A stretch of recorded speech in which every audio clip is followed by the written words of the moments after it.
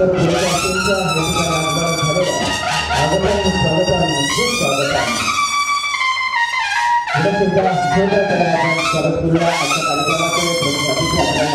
Sudah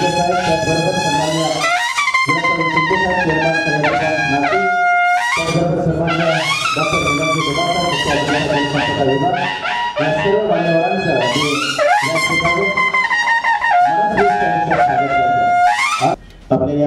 शेतीला मान देऊन सोबतच महाराष्ट्राच्या विविध कानाकोपऱ्यातून आपल्या शेती व्यवसायामध्ये एक विशिष्ट काम करीत असताना एक वेगळा उपक्रम करीत असताना आणि शेतामध्ये असलेल्या सेंद्रिय शेती असेल किंवा विविध फळ पिकांची शेती असेल अशा पिकांच्या शेतांमध्ये एक वेगवेगळी आपली भूमिका बजावत एक अद्वितीय काम करणाऱ्या सर्व शेतकरी बांधवांचा खऱ्या अर्थाने या ठिकाणी विशेष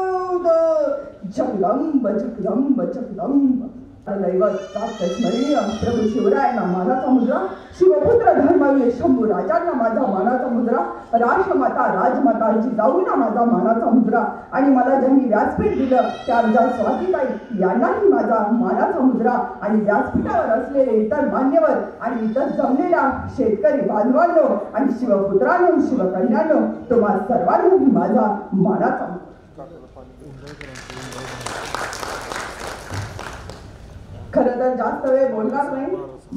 ताईंनी गर्जना द्यायला सांगितली आहे. मी फक्त शेतकरी बांधवांना एवढंच सांगू इच्छिते मी कोणत्याही धर्माच्या जातीच्या विरोधात नाही.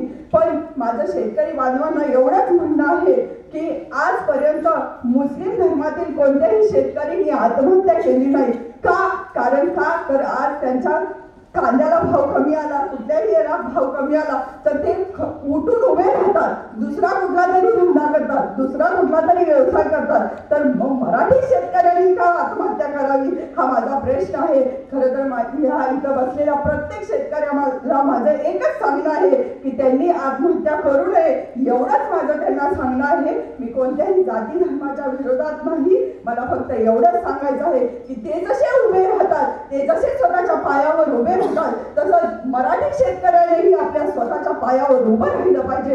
एवढंच माझं सांगणं आहे. कारण महाराजांनीही शेतकऱ्याच्या शेतातील गंजीला सुद्धा बोट लागणार नाही याची व्यवस्था केली होती. आणि आपण ही त्याच पद्धतीनं वागलं पाहिजे. एवढं माझं इथं असलेल्या प्रत्येक शेतकरी बांधवांना सांगणं आहे. कारण शेतकरी हाच पोशिंदा आहे. पूर्ण जगाचा ह्या पृथ्वीवरील भूतलावरचा पोशिंदा आहे. आणि ह्या शेतकरीला माझा शेवटचा सलाम करते. आणि मी तुम्हाला एकच गर्जना देते. सगळ्यांचा जोरात आवाज आला पाहिजे. प्रौढ प्रताप पुरंदर क्षत्रिय कुलावतम सिंहासनाधीश्वर राजा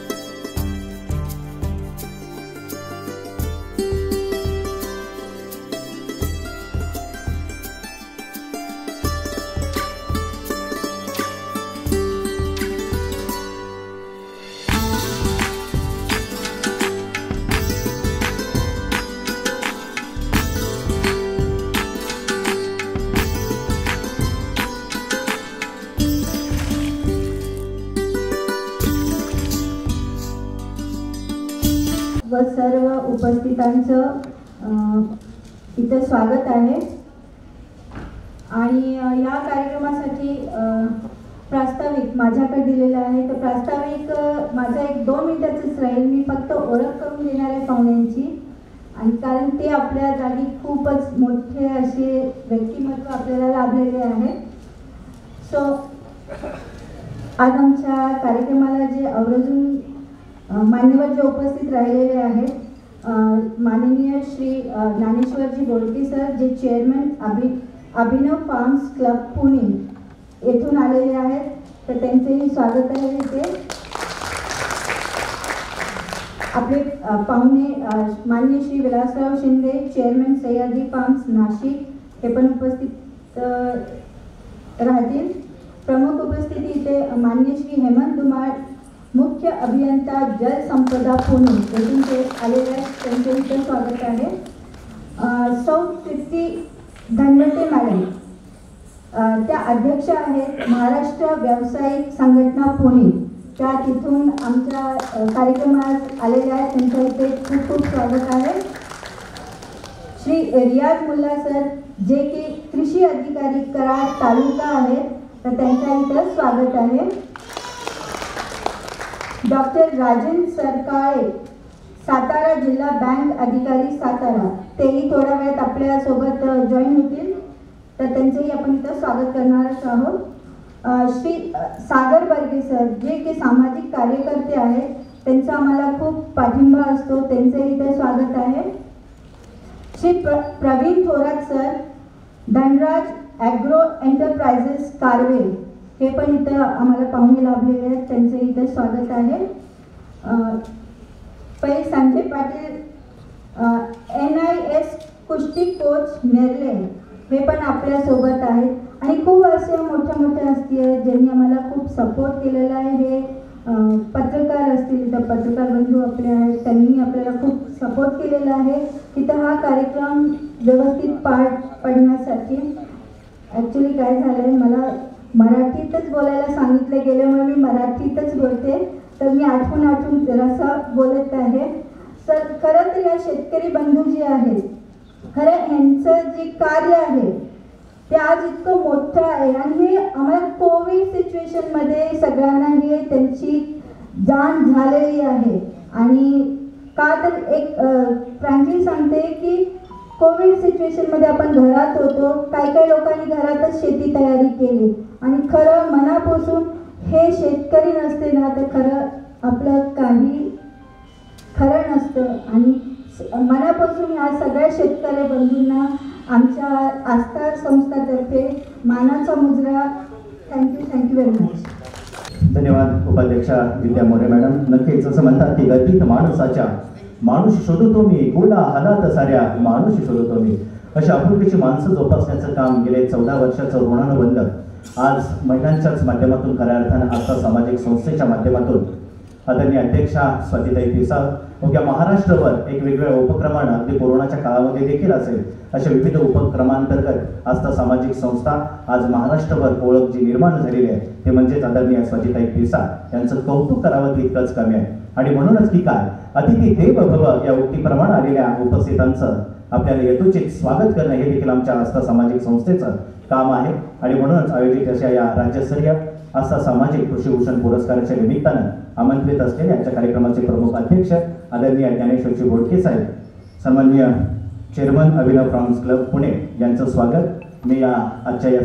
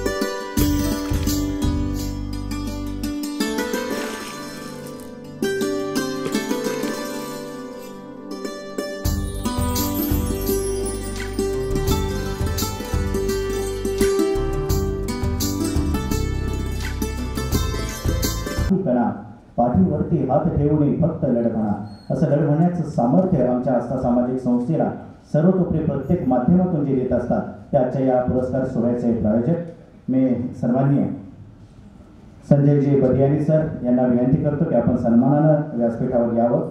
नक्कीच मुलाचं सहकार्य आपल्या असतं जोरदार टाळ्याने आपण स्वागत करूया. सन्माननीय संजयजी बदियानी सर आजच्या या कार्यक्रमाचे पुरस्कार सोहळ्याचे प्रायोजकत्व ज्यांनी या ठिकाणी स्वीकारलं असे सन्मान्य संजयजी बदियानी सर.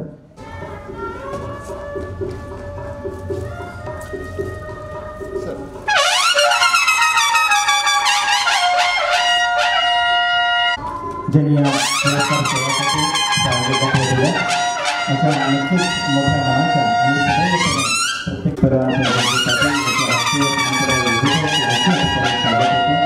पुरस्कार सत्कार आपण पुढच्या कार्यक्रमासाठी पुढच्या लोकांसाठी त्यांनी गेला प्रवीणजी थोरात सर त्यांच्या वहिनी साहेब यांना मी विनंती करतो की थोरात मॅडम आपण देखील यावं. धनराज ॲग्रोच्या आदरणीय थोरात मॅडम आपले या ठिकाणी स्वागत होतं. या कार्यक्रमासाठी आपण विशेष प्रायोजकत्व म्हणून या विशेष पुरस्कार सोहळ्यासाठी आपण सर्वतोपरी मदत केली. त्याबद्दल आपलं विशेष कौतुक या पुरस्कार सोहळ्याच्या निमित्ताने या समोर बसलेले सर्व पुरस्कार किंवा त्यांच्यासोबत गोष्टीकडे पूर्णपणे लक्ष देऊन त्यांचे सत्कार घेते आणि त्यासाठी मी सर्व उपस्थित मान्यवर आदरणीय व्यासपीठ यांना विनंती करते की आस्था सामाजिक संस्थेच्या स्वाती पिसाळ मॅडम यांना मी छोटीशी भेट देत आहे. अशीच तुम्हालाही आवाहन करते की सर्वांनी इथून पुढे आस्था सामाजिक संस्थेला वारंवार मदत करावी कार्यक्रम मोठ्या स्वरूपात व्हावे. जय हिंद जय महाराष्ट्र. एक विशेष भेट या ठिकाणी आस्था सामाजिक संस्थेला या ठिकाणी देण्यात होत आहे. राजेंद्र सरकारे साहेब यांचे या ठिकाणी पुन्हा एकदा जोरदार टाळ्याने आपण स्वागत करूया. जिल्हा बँकेचे CEO सन्माननीय सरकारे साहेब आपले या ठिकाणी स्वागत करण्यात येत आहे ठिकाणी होत आहे. साहेब आपण वेळात वेळ काढून या ठिकाणी उपस्थित झालात. एकदा जोरदार त्याने आपण स्वागत करूया. सातारा जिल्हा बँकेचे विशेष अधिकारी आदरणीय डॉक्टर राजेंद्र सरकारे साहेब यांची या ठिकाणी आस्था सामाजिक संस्था यांच्या वतीनं मनपूर्वक सहर्ष स्वागत करण्यात येत आहे. नमस्कार. जय जिजाऊ जय शिवराय. अखंड हिंदुस्थानचे आराध्य दैवत छत्रपती शिवाजी महाराज यांना मी प्रथम मानाचा मुजरा करते. संत ज्ञानदेव संत तुकारामांची जन्मभूमी म्हणजे महाराष्ट्र.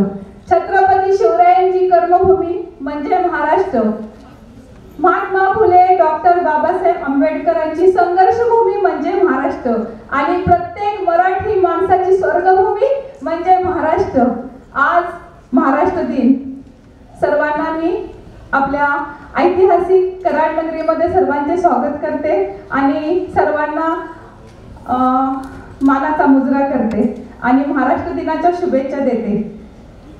अशा ह्या महाराष्ट्राच्या मातीचा टिळा लावून आजच्या या महाराष्ट्र दिनाच्या मावळ्यांना भगव्या शुभेच्छा देते मी. परत एकदा सर्वांचे मी खूप खूप आभार मानते की त्यांनी इथे येऊन वेळ वेळात वेळ काढून आपल्यासाठी वेळ दिला. आज इथवर आले माझ्या विनंतीस मान दिला. खूप लांबून सगळे आलेले आहेत. आणि अशा या सर्व मान्यवरांचे प्रथम मी स्वागत करते. आदरणीय व्यासपीठावरचे सर्वच मान्यवर आपले कार्यक्रमाचे अध्यक्ष कृषी तज्ज्ञ ज्ञानेश्वरजी बोडके सर अभिनव फार्मर्स पुणे तसेच आपले डॉक्टर हेमंतजी धुमाळ सर जलसंपदा मुख्य अभियंता पुणे. डॉक्टर तृप्ती धनवटे रामाने अध्यक्ष महाराष्ट्र व्यावसायिक संघटना पुणे. डॉक्टर राजेंद्र सरकाळे सर सातारा जिल्हा बँक सीईओ सातारा. तसेच रियाज मुल्ला सर कराड कृषी अधिकारी. कराडचे आपले सामाजिक कार्यकर्ते सागरदादा बर्गे. किसान मोर्चा अध्यक्ष रामकृष्ण वेताळ सर आले नाही ते थोड्या वेळात पोहोचतील.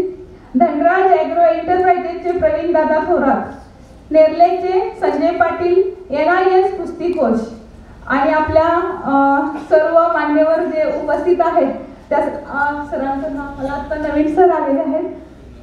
अभिमन्यू नागवणे सर ते बायोगॅसचे शेतकरी आहेत तर त्यांचं प्रात्यक्षिक होईलच थोड्या वेळात असे आपले सर्वजण पाहुणे आपल्याला लाभलेले आहेत. तसेच आपल्या ऐतिहासिक कराड नगरीचे सुपुत्र डॉक्टर स्वर्गीय यशवंतरावजी चव्हाण जे आपल्या कराडची कर्मभूमी जन्मभूमी असे आपले यशवंतरावजी चव्हाण त्यांच्या या नगरीमध्ये सर्व शेतकरी बांधवांचे मी स्वागत करते. शेतकरी हा जगाचा पोशिंदा आहे. त्याला विसरून कसं चालेल? खूप खूप वर्ष झाली आमची दोन हजार पंधरा पासून आमची संस्था कार्यरत आहे. गोरगरिबांसाठी गरजू लोकांसाठी तळागाळात जाऊन आम्ही कामं केली. पण शेतकऱ्यांसाठी कधीच मी काम केलं नव्हतं. महाराष्ट्र दिनाचं औचित्य साधून मनात आलं की आपण शेतकऱ्यांसाठी काहीतरी करूया. त्याच्या कामाची पोच पावती म्हणून आज हा शेतकरी मेळावा मी आयोजित केला. मनात आणलं आणि मी ते साकारलं. फक्त पंधरा दिवसात मी तयारी केली आणि ह्या सर्व माझ्या म्हणजे कराडमधले जे माझे सगळे सहकारी आहेत त्यांनी मला मोलाची साथ दिली. आणि ज्यांनी हा कार्यक्रम खरोखर एक छोटीशी देणगी देऊन कार्यक्रमाला सहकार्य केलं त्यांचे मी पहिल्यांदा ऋणी आहे सर. कारण मी जेव्हा कुणाला हात पुढे करते मला कुणीही नाही म्हणत नाही कारण त्याला माहीत आहे की ह्या खरोखरच काम करतात. मला कुठली फोटोबाजी शोबाजी आवडत नाही. मला मनापासून काम करायला आवडतं. आणि आतापर्यंत आपण खूप वर्ष झाली एक दत्तक मुलगी घेतलेली आहे. तिच्या नावावर आम्ही फिक्स डिपॉझिट करून पावती करून तिच्या घरच्यांच्या जवळ दिली आहे. तसेच दरवर्षी पन्नास अनाथ मुलांना जे की पाटण भागातले आहेत तो भाग खूप असा निर्धन आहे. त्या भागातली पन्नास मुलं शोधून आम्ही दरवर्षी पन्नास मुलांचा आम्ही शाळेचा पूर्ण शिक्षणाचा खर्च करतो. त्यामध्ये युनिफॉर्म सहित बूट सॉक्स बूट शाळेची बॅग वह्या पुस्तकं सगळं आम्ही त्यामध्ये प्रोव्हाइड करतो. आणि यासाठी पण समाजातील काही आपले सहकार्य आहेत त्यांचा आम्हाला मोलाची मदत मिळते. आणि यातून आम्ही हे कार्य करत असतो. सर सांगायला खूप अं, म्हणजे अभिमान वाटतो की हे शेतकऱ्यांचं वया जेव्हा डोक्यात आलं ना मला काहीच गंध नव्हता. मी शेतकऱ्याची मुलगी आहे मला माहीत आहे. शेतकऱ्याची सून आहे ते पण मला माहीत आहे. पण मी असं कधी बांधावर जाऊन काम केलं नाही. खरोखर केलं नाही. पण त्या लोकांबद्दल मला कायम आस्था आहे. मग मी सर्च करायला सुरुवात केली.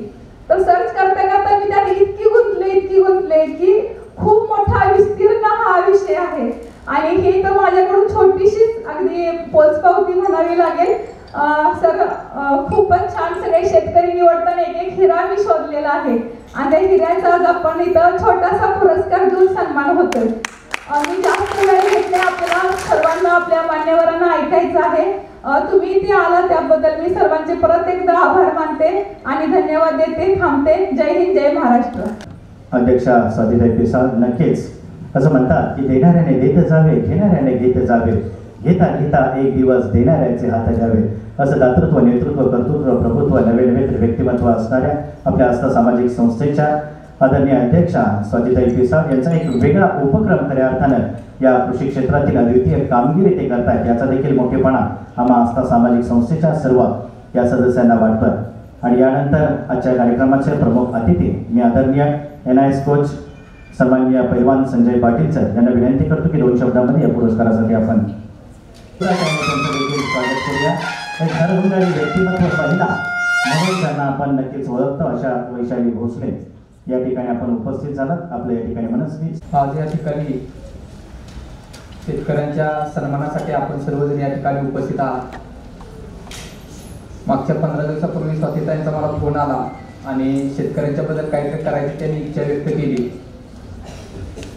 शेतकऱ्यांचा सन्मान न करता ते म्हणजे विविध शेत शेतीमध्ये विविध पिकात ज्यांनी उत्तुंग भरारी घेतल्या असे द्राक्ष शेतकरी ऊस शेतकरी किंवा शेतीत नवनवीन प्रयोग करणाऱ्या शेतकऱ्यांचा आपण सन्मान करूया असं म्हणून त्या कामाला लागल्या. आणि खरं तर खरं तर पुरस्कारकर्त्यांची मी ज्यावेळेस यादी बघितली त्यावेळेस खऱ्या अर्थाने मी स्वातंत्र्याचं अभिनंदन केलं. ऊस क्षेत्रात आमच्या सांगलीचे युवराजात आहेत. अतिशय फार मोठं काम. त्याच पद्धतीचं सर्व शेतकऱ्यांचं त्यांच्या त्यांच्या ऊस पिकात असेल किंवा शेतीच्या प्रयोगामध्ये फार मोठं काम त्यांचं आहे. आणि एवढ्या सर्वांना एकत्र घेऊन त्यांनी एवढा छान कार्यक्रम घेतला. त्याबद्दल मी त्यांचं व आस्था संस्थेचं या ठिकाणी खरं तर अभिनंदन करतो. आणि माझं दोन शब्द थांबवतो. उपस्थित असलेले साताऱ्याहून उपस्थित असलेले आदरणीय अशोकरावजी देशमुख साहेब. यांचा या ठिकाणी सत्कार होते. आदरणीय देशमुख साहेब यांना विनंती की आपण सन्मानपूर्वक या सत्काराचा स्वीकार करण्यासाठी आपण व्यासपीठावर यावं.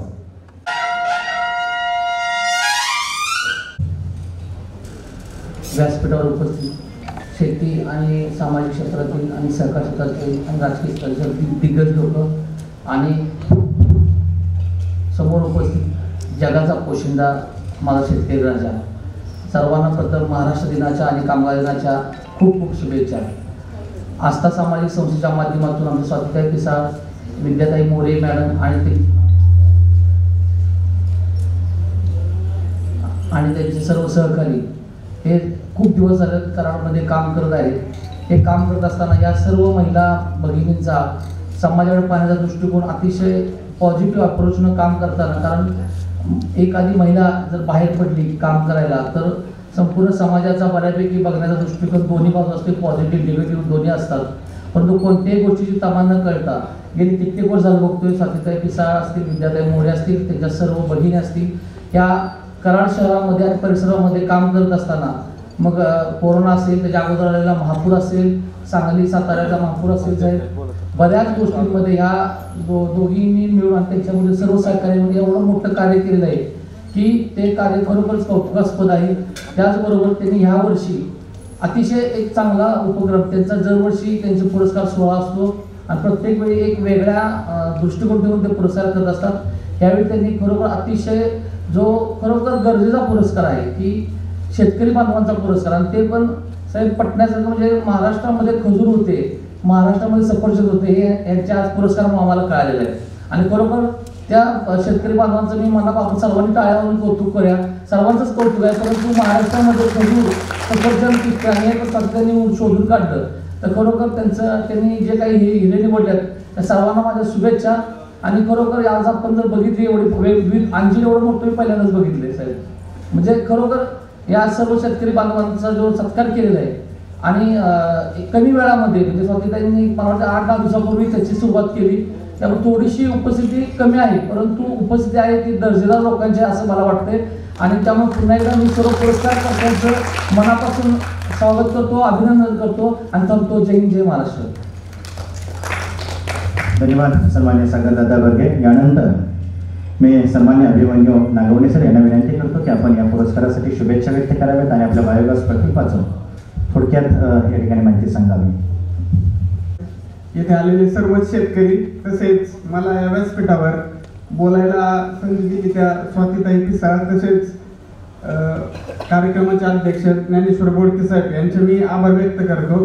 मी एक शेतकरी पुत्रच आहे. ग्रामीण भागातील महिलांसाठी किंवा ग्रामीण भागातील शेतकरी यांच्या अडचणी दिवसेंदिवस मी पाहत होतो. म्हणजे काय? तर सर्वात महत्त्वाचा विषय होता ग्रामीण भागातील महिलांपुढे की इंधनाचा इंधन म्हणून ग्रामीण भागातील महिला काय करायच्या? तर वृक्षतोड करायच्या. वृक्षतोड केल्यामुळे पर्यावरणाचा ऱ्हास होत होता. ऱ्हास झाल्यामुळे हे अवकाळी पाऊस वगैरे या गोष्टी होत होत्या. तर मी गेल्या सतरा वर्षापूर्वी या बायोगॅस संयंत्र आपल्यासमोर जे दिसत आहे ते स्वतः बनवलेलं आहे. गेल्या सतरा वर्षापासून मी शेतकऱ्यांसाठी काम करतोय. आता महाराष्ट्रामध्ये जी बायोगॅस बनवणारी कंपनी आहे ती आपली पहिलीच कंपनी आहे. तर हे जे बायोगॅस संयंत्र आहे त्याविषयी आपल्याला थोडक्यात माहिती देतो. आता दिवसेंदिवस रासायनिक खतांच्या किमती वाढत आहेत. त्यामुळे कॅन्सरचे म्हणजे रासायनिक खतं वापरामुळे कॅन्सरचे प्रमाणही वाढत आहे. तर ते कुठेतरी थांबावं. यासाठी आपण सर्व शेतकरी बांधवांनी जर बायोगॅस बसवला तर नक्कीच कॅन्सरला हा शंभर टक्के आळा बसणार आहे. तसंच गॅस बसवल्यामुळे दर महिन्याला शेतकऱ्याची इंधन खर्चात बचत होणार आहे. तर हे जे आपण शेतकऱ्यांसाठी एक आधुनिक बायोगॅस संयंत्र बनवलेलं आहे त्याची दोन घनमीटर क्षमता आहे. त्या बायोगॅससाठी कमी जागा लागते. जुन्या पद्धतीचे आपण जे बायोगॅस पाहिले होते तर त्याला खड्डा खोदावा लागत होता बांधकाम करावं लागत होतं गंजणे गळती यासारखी भीती होती. तर आपण हे युनिट कमी जागेत कमी वेळेत बसवता येईल अशा पद्धतीने बनवलेलं आहे. यासाठी दोन जनावर शेतकऱ्याच्या घरी असणं अपेक्षित आहे. दोन जनावरांचं शेण या बायोगॅसमध्ये जर टाकलं तर दहा ते बारा लोकांचा स्वयंपाक यामध्ये निश्चितच होतोय. तर इंधन म्हणून दर महिन्याला दोन हजार रुपये शेतकऱ्याचे वाजणार आहेत. तसेच जे बायोगॅस मधून स्लरी बाहेर पडते हे शेतकऱ्याला अमृत म्हणलं तरी चालेल. कारण की आज मार्केटमध्ये रासायनिक खतांच्या किमती पाहिल्या तर एक गोणी घ्यायला गेलं तर तीन ते चार हजार रुपये आहे. जर या बायोगॅस मधली स्लरी जर शेतीमध्ये वापरली तर ऑर्गॅनिक शेती होणार आहे आणि शेतकरी स्वावलंबी होणार आहे. म्हणजे स्वतःच्या शेतीमध्ये लागणारं खत हे स्वतः तयार करू शकतो. तर हे जे आपल्यासमोर बायोगॅसचं जे छोटं मॉडेल आहे तर ते बायोगॅस डेमो आहे प्रात्यक्षिक दाखवण्यासाठी आपल्याला आणलेलं आहे. तर जे बाहेरची टाकी आहे त्याची तीन हजार लिटरची असते. आतमध्ये एक टाकी आहे ती दोन हजार लिटरची आहे. यामध्ये सुरुवातीला शेतकऱ्यांनी जर दोन दोन बैलगाड्या शेण टाकलं तर त्यानंतर जो गॅस तयार होतो तो इंधन म्हणून वापरू शकतो. या बायोगॅससाठी जागा कमी लागते. म्हणजे शेतकऱ्याकडे जर खड्डा होत नसेल तर तो जमिनीवरती बसू शकतो. तर सर्वात महत्त्वाचे फायदे म्हणजे इंधन खर्च. हा शेतकऱ्या पुढचा समस्या सोडवली जात आहे. आणि जी खताची गरज आहे शेतकऱ्याला सेंद्रिय खताची तर ते या बायोगॅसच्या माध्यमातून पूर्ण केली जाते. तर ही जी लिक्विड स्लरी असेल किंवा ड्राय स्लरी असेल लिक्विड स्लरी आपण ड्रिपच्या माध्यमातून डायरेक्टली अंजीर असतील पेरू असतील आपल्यासमोर हे जी फळं आहेत ती सगळी सगळी फळं ऑर्गॅनिक आहेत. तर या पिकांना यामधलं जर खत वापरलं तर निश्चितच ते फायदेशीर आहे. एवढी माहिती मी आपलं आपल्या सर्वांसमोर दिलेली आहे. कोणाची काही समस्या असतील तर आपण सरांना किंवा मॅडमला सांगू शकता. मला आपला आपल्या सर्वांनी बोलण्याची संधी जी दिलेली आहे त्याबद्दल मी सर्वांचे आभार व्यक्त करतो. धन्यवाद अभिमन्यू नागवणे सर. खूप छान आपण माहिती दिली. आमच्या शेतकरी वर्गाला यानंतर कराड तालुक्याचे कृषी अधिकारी आदरणीय रियाजी मुल्ला साहेब यांना विनंती करतो की आपण या सोहळ्यासाठी सर्व शेतकरी बांधवांना मार्गदर्शन करावं. आदरणीय रियाजी मुल्ला साहेब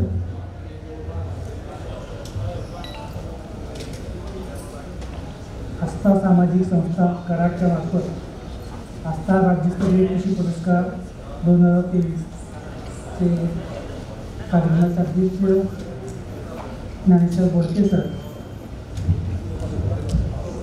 वास्तविक पिसाळ मॅडमनी हा जो कार्यक्रम आयोजित करताना सर्व घटकांचा एक मिलाप करण्याचा प्रयत्न चांगला केलेला आहे.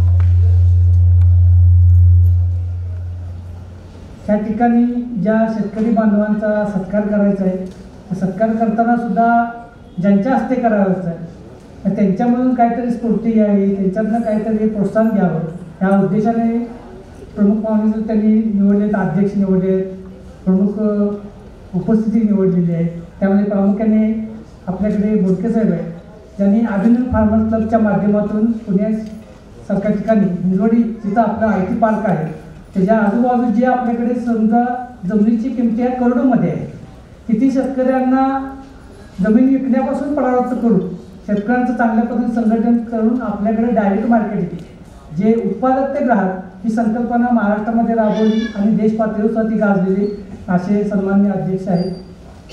दुसरी एक व्यक्ती बोलवले आता ते उपस्थित नाही Vilasrao Shinde sir Sahyadri agro farm जे शेतकऱ्यांनी शेतकऱ्यासाठी उत्पादित केलेली शेतकरी उत्पादक कंपनी जी म्हणतोय आणि ज्याचं देश पातळीवर सुद्धा चांगल्या पद्धतीचं नाव कमवलेलं आहे. आणि एक व्हिजन काय असावं शेतकरी बांधवांचं कुठल्याही कंपनीवर डिपेंड न राहता शेतकऱ्याने शेतकऱ्यासाठी जी काही एक चांगली कंपनी स्थापन केली आणि त्यातनं जो काय फायदा होणार तो शेतकऱ्यासाठी द्यायचा ही संकल्पना घेऊन पुढे गेले असेच एक आपले प्रमुख पाहुणे त्यांनी निवडले. शेती म्हणलं तर निश्चितपणे सर्वांना आपल्याला माहीत आहे पाण्याची व्यवस्था असल्याशिवाय आपल्याला निश्चितपणे कुठल्याही शेतीमध्ये आपण काहीच चांगल्या पद्धतीचे काम करू शकत नाही. त्यासाठी मला वाटतं तळी दृष्टिकोन ठेवून त्यांनी जलसंपदा विभागाचे मुख्य अभियंता धुमासाहेब यांची सुद्धा या ठिकाणी निवड केलेली आहे आणि त्यांनाही इथं आमंत्रित केलेले आहे. त्यांचे सुद्धा आपण विचार ऐकणार आहोत. त्यानंतर महत्वाचं आपल्याकडे सरकारी साहेब आहेत. कुठलेही शेतकरी म्हणले की आपल्याला भांडवलशिवाय काही चालत नाही. आणि वास्तविक जी भांडवल पाहिजे तर बँकाशिवाय काही व्यवस्थित देऊ शकत नाही. बँकाशी सुद्धा लायसनिंग चांगलं राहिलं तर निश्चितपणाने शेतकऱ्यांना चांगले दिवस येऊ शकतात. आणि त्यांनी एकदा होकार म्हणलं तर शेतकरी आपला कुठेही कमी पडत नाही निश्चित मला खात्री आहे.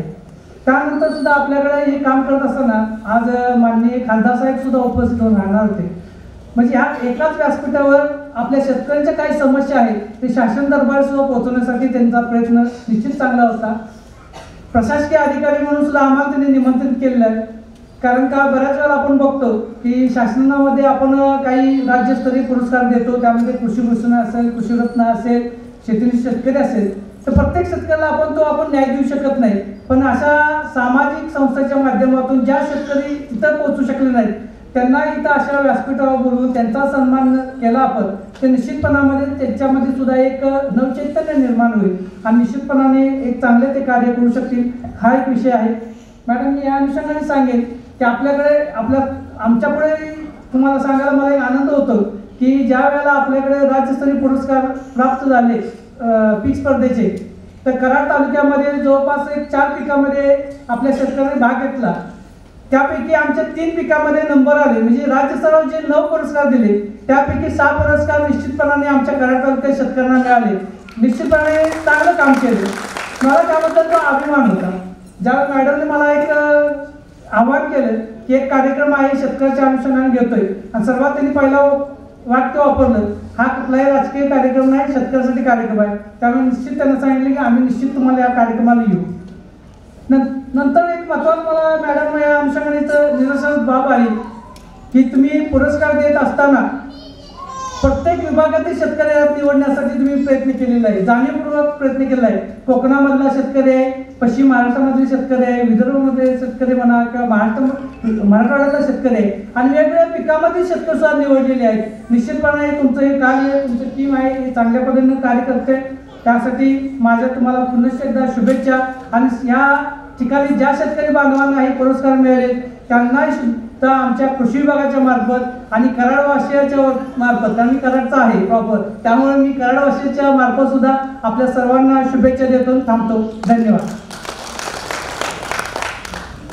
धन्यवाद कृषी अधिकारी सर्वांनी मुल्ला साहेब यानंतर थोडासा मी कार्यक्रमात बदल करून मी आदरणीय प्रवीणजी थोरात सर यांना विनंती करतो. धनराज ॲग्रो एंटरप्राइजेसचे सन्मान्य प्रवीणजी थोरात आपण दोन शब्दामध्ये या पुरस्कारासाठी आपल्या ॲग्रो एंटरप्राइजेस आहेत त्यावर आपण थोडंसं मार्गदर्शन करावं. सर्वांनी प्रवेश थोरात नमस्ते शेतकरी बांधवांनो. माझं नाव प्रवीण थोरात. मी पण एक शेतकरी कुटुंबातूनच आलेलो आणि व्यावसायिक बनलेलो आहे. आमचे एकत्र कुटुंब होतं. एकत्र कुटुंबामध्ये माझे काही भाऊ शेती करत होते. सर्व लोक शेती करत असताना वडील एकदा म्हणले की सर्वांनी जर शेती करायची म्हणली तर नंतर नंतर शेतीचं तुकडीकरण होईल आणि नंतर सगळ्यांना शेती कमी होईल तो व्यवसायामध्ये पड. वडिलांच्या एका मार्गदर्शना आणि आमच्या काकांच्या मार्गदर्शनाखाली ज्यावेळेस मी शेती करत होतो त्यावेळेस असं लक्षात आलं होतं की शेतीला मजुराचा प्रॉब्लेम सुरुवात होणार आहे भविष्यामध्ये. दोन हजार नऊ साली मी ह्या व्यवसायामध्ये आलो. ह्या व्यवसायाला शेतकऱ्यांना लागणारी जी मेन अडचण आहे ती होती ती मजुरांची. आणि मजूर हा यांत्रिकीकरण केलं तरच मजूर शेतकऱ्यांना तर एक काहीतरी पर्याय व्यवस्था होऊ शकते. म्हणून यांत्रिकीकरणामध्ये आम्ही खूप प्रयत्न केला. छोटी छोटी यंत्र महाराष्ट्रामध्ये आणायचा प्रयत्न केला. दोन हजार अकराला आम्ही जी ज्यावेळी सुरुवात केली खूप कमी शेतकऱ्यांची पसंती होती. कारण बैलजोडी चालवत होती. बैलजोडी बरोबर बैलजोड चालवणारी मजुरी उपलब्ध होत होते. शेतकऱ्यांची शेती मोठ्या प्रमाणात होती. दोन हजार सोळा नंतर ह्याच्यामध्ये खूप क्रांतिकारक बदल झाला. या यांत्रिकीकरण आम्ही ज्यावेळेस सुरुवात केली त्यावेळेस शहरामध्ये शहरीकरण होत होत गेलं. आणि ज्या शेतकऱ्यांना लागणारे जे लेबर होते बरेच जे लेबर होते ते सिटीमध्ये गेले. म्हणजे शहरामध्ये गेले त्यांना भरपूर तिकडं काम मिळायला लागलं. दोन हजार सोळा साली जेव्हा महाराष्ट्र शासनानं असा एक निर्णय घेतला की आता शेतीचं यांत्रिकीकरण केलं तर तिथून पुढची शेती टिकेल आणि आता शेतकऱ्यांच्या पुढं खूप मोठे संकट येऊ शकतं. ह्याचा आम्हाला खूप मोठा फायदा झाला कारण आम्ही दोन हजार नऊ पासून ह्यामध्ये यांत्रिकीकरण सुरुवात केली होती. शेतकऱ्यांचा खूप कमी प्रतिसाद होता. कारण यंत्राच्या किमती जास्त होत्या दोन हजार सोळाला जेव्हा शासनाने निर्णय घेतला की ह्याला सबसिडाईज करू त्यावेळी शेतकऱ्यांनी ह्या जे यंत्र घ्यायला सुरुवात केली. आज आम्हाला सांगायला खूप अभिमान वाटतोय की प्रत्येक असे एक आमच्याकडे काही यंत्र आहेत की एकच जर यंत्र त्या शेतकऱ्याने घेतलं तर शेताची पंचवीस प्रकारची काम केली जातात. आमच्याकडे एक पॉवर विडर असा आहे की तो आल्यामध्ये पण चालेल शेतीसाठी. शेतकऱ्याचा जर काही कालांतर जो आल्याचे दर कमी झाले तर ऊस लावला तर ऊसामध्ये पण ते चालेल. हरभरा लावला हरभऱ्यामध्ये पण कापणी करेल. गहू लावला गव्हाची पण कापणी करेल. हार्वेस्टिंग पण करेल. एकाच मशीन असेल आणि त्या शासनाच्या योजनेमध्ये त्या यंत्राला अनुदानी आहे. खूप भरपूर शेतकऱ्यांचा प्रतिसाद चांगला येतोय. आता हे आम्ही करत असताना ह्याच्यामध्ये एक आम्हाला असं जाणवले की ह्याच्यामध्ये जी कृषी विभागानं आम्हाला सहकार्य जे केलं या यंत्रासाठी ह्याच्यामुळे एक झालं की शेतकऱ्यांच्या प्रत्येक बांधावरती मशीन गेलं मशीन केल्यानंतर शेतकऱ्यांना पण तीस टक्के उत्पन्नात वाढ झाली. शेतकऱ्यांच्या पुढे असणारी जी मोठी शंका होती की लेबर मिळत नाही. आज कुठे गेलं तर शेतकऱ्यांच्या पुढे मोठा तोच प्रॉब्लेम आहे. साहेब आमची शेती आम्हालाच करायची आहे. आम्ही त्यांना सांगितले की तुम्ही असं एखादं यंत्र खरेदी करा की भविष्यात ते यंत्र तुम्हाला चालवावं लागेल. कारण ते चालवण्यासाठी तुला तुम्हाला लेबर भेटणार नाही. आणि आता सत्य परिस्थिती अशीच आहे. आमच्याकडे भरपूर शेतकरी येतात. पूर्ण महाराष्ट्राचा डाटा आमच्याकडे आहे. सर्व शेतकरी साहेब म्हणतात तुम्ही जे आम्हाला दोन हजार सोळाला मशीन दिला सतराला मशीन दिला अठराला मशीन दिलं पण आज अशी कंडिशन झाल्या की तुम्ही एक यंत्र चांगलं म्हणून ते यंत्र आमचं आम्हीच आता चालवतोय. आणि त्यामध्ये एवढं खूप सेफ्टी फीचर्स दिलेले आहेत आणि त्याला शासकीय अनुदानही मिळालं. त्यामुळे शेतकऱ्यामध्ये तीस टक्के उत्पन्नाची वाढ होऊन शेतकऱ्याची वेळोवेळी सगळी प्रकारची कामं व्हायला लागली. आता ज्या ज्या शेतकऱ्यांना इथं आपल्याला वेळ आहे आमच्या कराडमध्ये मोठ्या प्रमाणात शोरूम आहे ॲग्री मॉल सारखंच केलेलं आहे. ज्या ज्या शेतकऱ्यांना आपण तिथं तुम्ही बघाल तिथं आम्ही रजिस्ट्रेशनही करून घेतोय. शेतकऱ्यांना अनुदान उपलब्ध करून देण्याची आम्ही चांगली पोर्टलवर व्यवस्था केलेली आहे. आणि ह्याच्यामुळं काय झालं शेतकऱ्याला एक मोठं एक साधन मिळालं की स्वतःची शेती स्वतः होऊ शकेल. वेळोवाळी ह्या यंत्रांची किंमती जास्त असल्यामुळे जिल्हा बँकेने खूप मोठ्या प्रमाणात सहकार्य आम्हाला केलेलं आहे. जिल्हा बँकेचे जे स्टाफ आहे त्यांनी सुद्धा खूप मोठ्या प्रमाणात आम्हाला सहकार्य करून आणि हा व्यवसाय आम्ही खूप चांगल्या प्रकारात म्हणजे थोडा आणलेला आहे. शेतकऱ्यांना आमची अशीच एक विनंती आहे की जे शेतकऱ्यांनी म्हणजे समजा दोन मुलं आहेत तर एका एक मुलगा शेती करेल दुसऱ्या मुलानं व्यवसाय नाही तर त्याचं बा म्हणजे व्यवस्थापन किंवा विक्री व्यवस्थापन केली तर तिथून पुढं शेतकरी चांगल्या प्रमाणात सदन आणि सुदृढ होऊ शकतो. तर आज इथं मला जे बोलवलं मॅडमनी मला सांगितलं असा असा आहे कार्यक्रम. त्यासाठी मी इथं आलो. त्यावेळेस त्यांनी मला बोलण्याची संधी दिली त्याबद्दल सर्वांचे मी धन्यवाद आहे. जय महाराष्ट्र. धन्यवाद प्रवीणजी थोरात साहेब यानंतर जिल्हा बँकेचे विशेष अधिकारी डॉक्टर राजेंद्र सरकारी साहेब याला विनंती करतो आपण मार्गदर्शन करावं. खास शेतकऱ्यांसाठी मार्गदर्शन कारण आपल्याला पुढच्या कार्यक्रमासाठी जायचं आहे आदरणीय डॉक्टर राजेंद्र सरकारी साहेब नमस्कार. सर्व शेतीप्रेमी आणि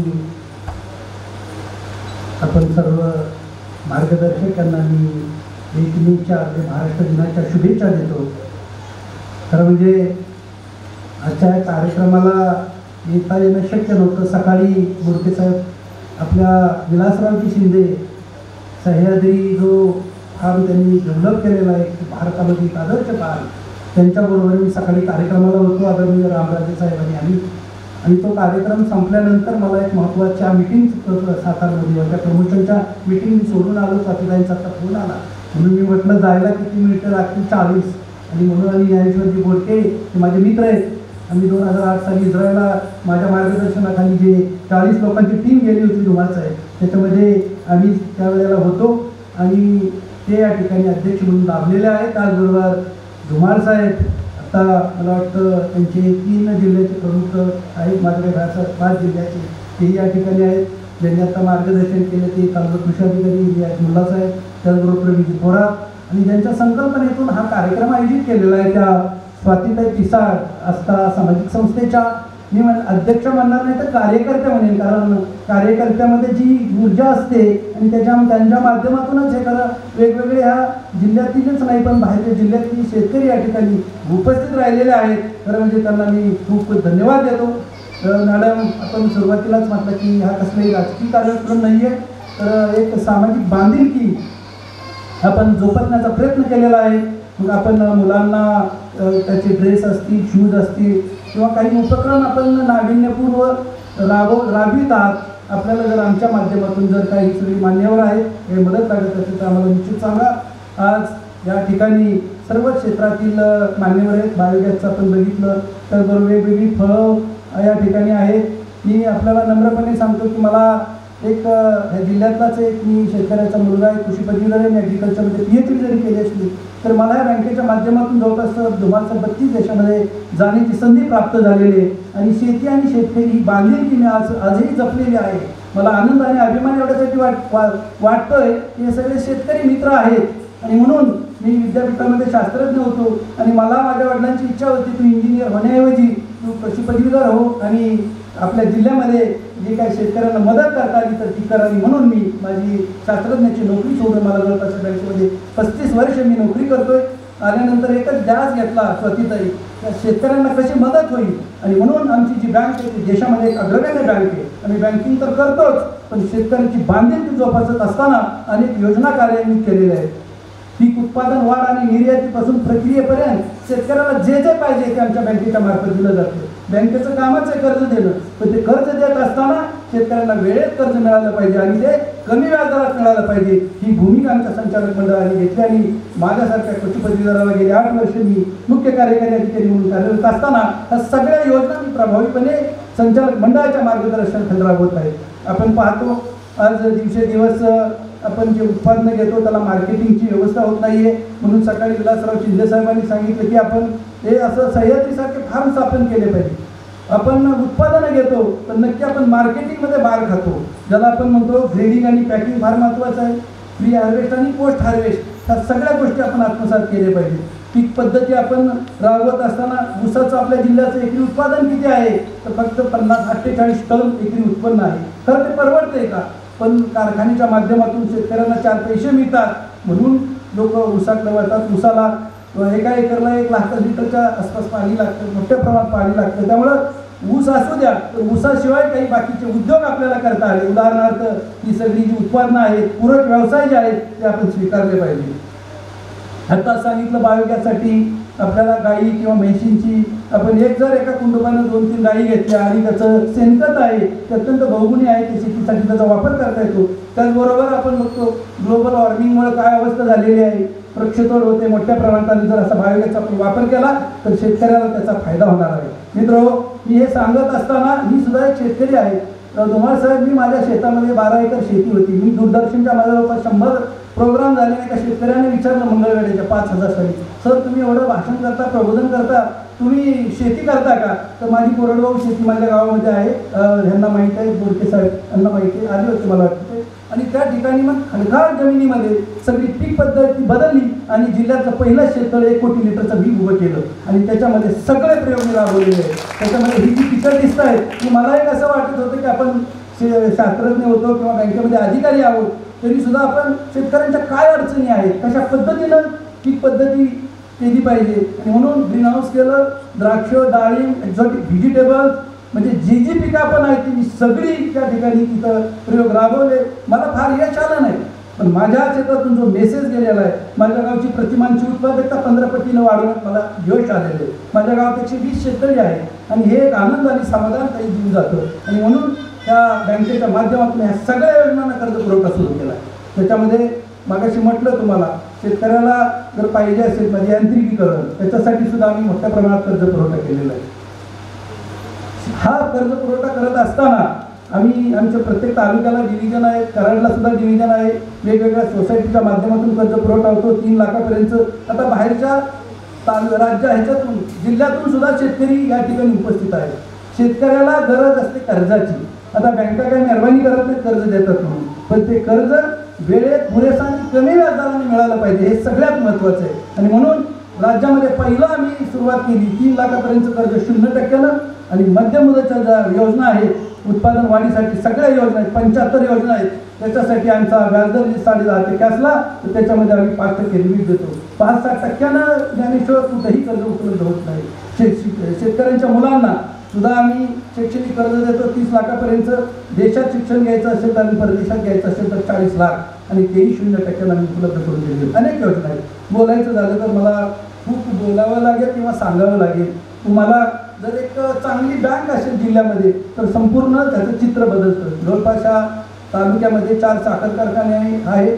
अनेक प्रकल्प राबवले जातात. आणि हा खरं म्हणजे एक आयडियल तालुका कैलासवासी चव्हाण साहेबांनी सगळ्या महाराष्ट्रालाच दिशा दिली पण करारची त्यांची कर्मभूमी आहे खरं आपलं भाग्य समजायला पाहिजे. फार मोठा द्रष्टा नेता होता की ज्यांनी सातारा जिल्हा बँक स्थापन केली. आणि अशा ह्या बँकेच्या माध्यमातून अनेक योजना आम्ही कार्यान्वित करतोय. शेततळ्यापासून ते जलसंधारण असेल कोणताही कोणतीही योजना असेल आम्ही असं ठरवलंय शेतकरी सातारा जिल्हा बँकेच्या ज्या- कर्जासाठी आला की जरी योजना नसली तरी ते आम्ही राबून त्यांच्यापर्यंत पोहोचवण्याचा उत्तम प्रकारे प्रयत्न केलेला आहे. त्या ठिकाणी मला वाटतं फिजरीचे काही शेतकरी आहेत. त्याचबरोबर काही फणस वेगवेगळ्या क्षेत्रातील क्षेत्र शेतकरी आहेत.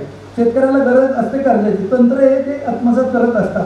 पण त्यांना जर वेळेत कर्ज पुरवठा दिला तर निश्चितपणानं शेतीचं चित्र बदलेल. आणि जर आपण शेती करत असताना मार्केटिंगचा अभ्यास केला पाहिजे. मी सातत्याने करत असतो. माझ्या शेतात प्रयोग अ, कल्पताही आपण करत असतो. तुम्ही बऱ्याचदा येता माझ्याकडे. आणि दर महिन्याला सर आम्ही एक मेळावा घेतो. आणि यशवंत किसान मंच म्हणून स्थापन केलेला आहे. ते वेगवेगळे चारशे शेतकरी एकत्र केले. जशी ज्ञानेश्वर बोडके साहेब आता तुम्ही भाषण ऐकायलाच करतात अत्यंत प्रभावी आणि चांगलं बोलतात. चांगलं बोलतात त्याच्यापेक्षा त्यांना कॉन्फिडन्स आला आहे त्यांच्या कामातून आलेला आहे. नाबार्डचे पण बरेचसे पुरस्कार मिळालेले मला आनंद आहे की माझ्या टीमचे ते साक्षीदार होते दोन हजार आठ साली.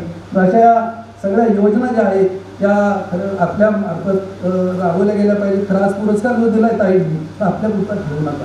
हा पुरस्काराच्या माध्यमातून आपली एक जबाबदारी आहे. तर आपलं हे जे काम आहे ते समाजापर्यंत पो पोहोचवलं पाहिजे. तरच खर खऱ्या अर्थाने पुरस्कारावर न्याय मिळेल असं मला वाटतं.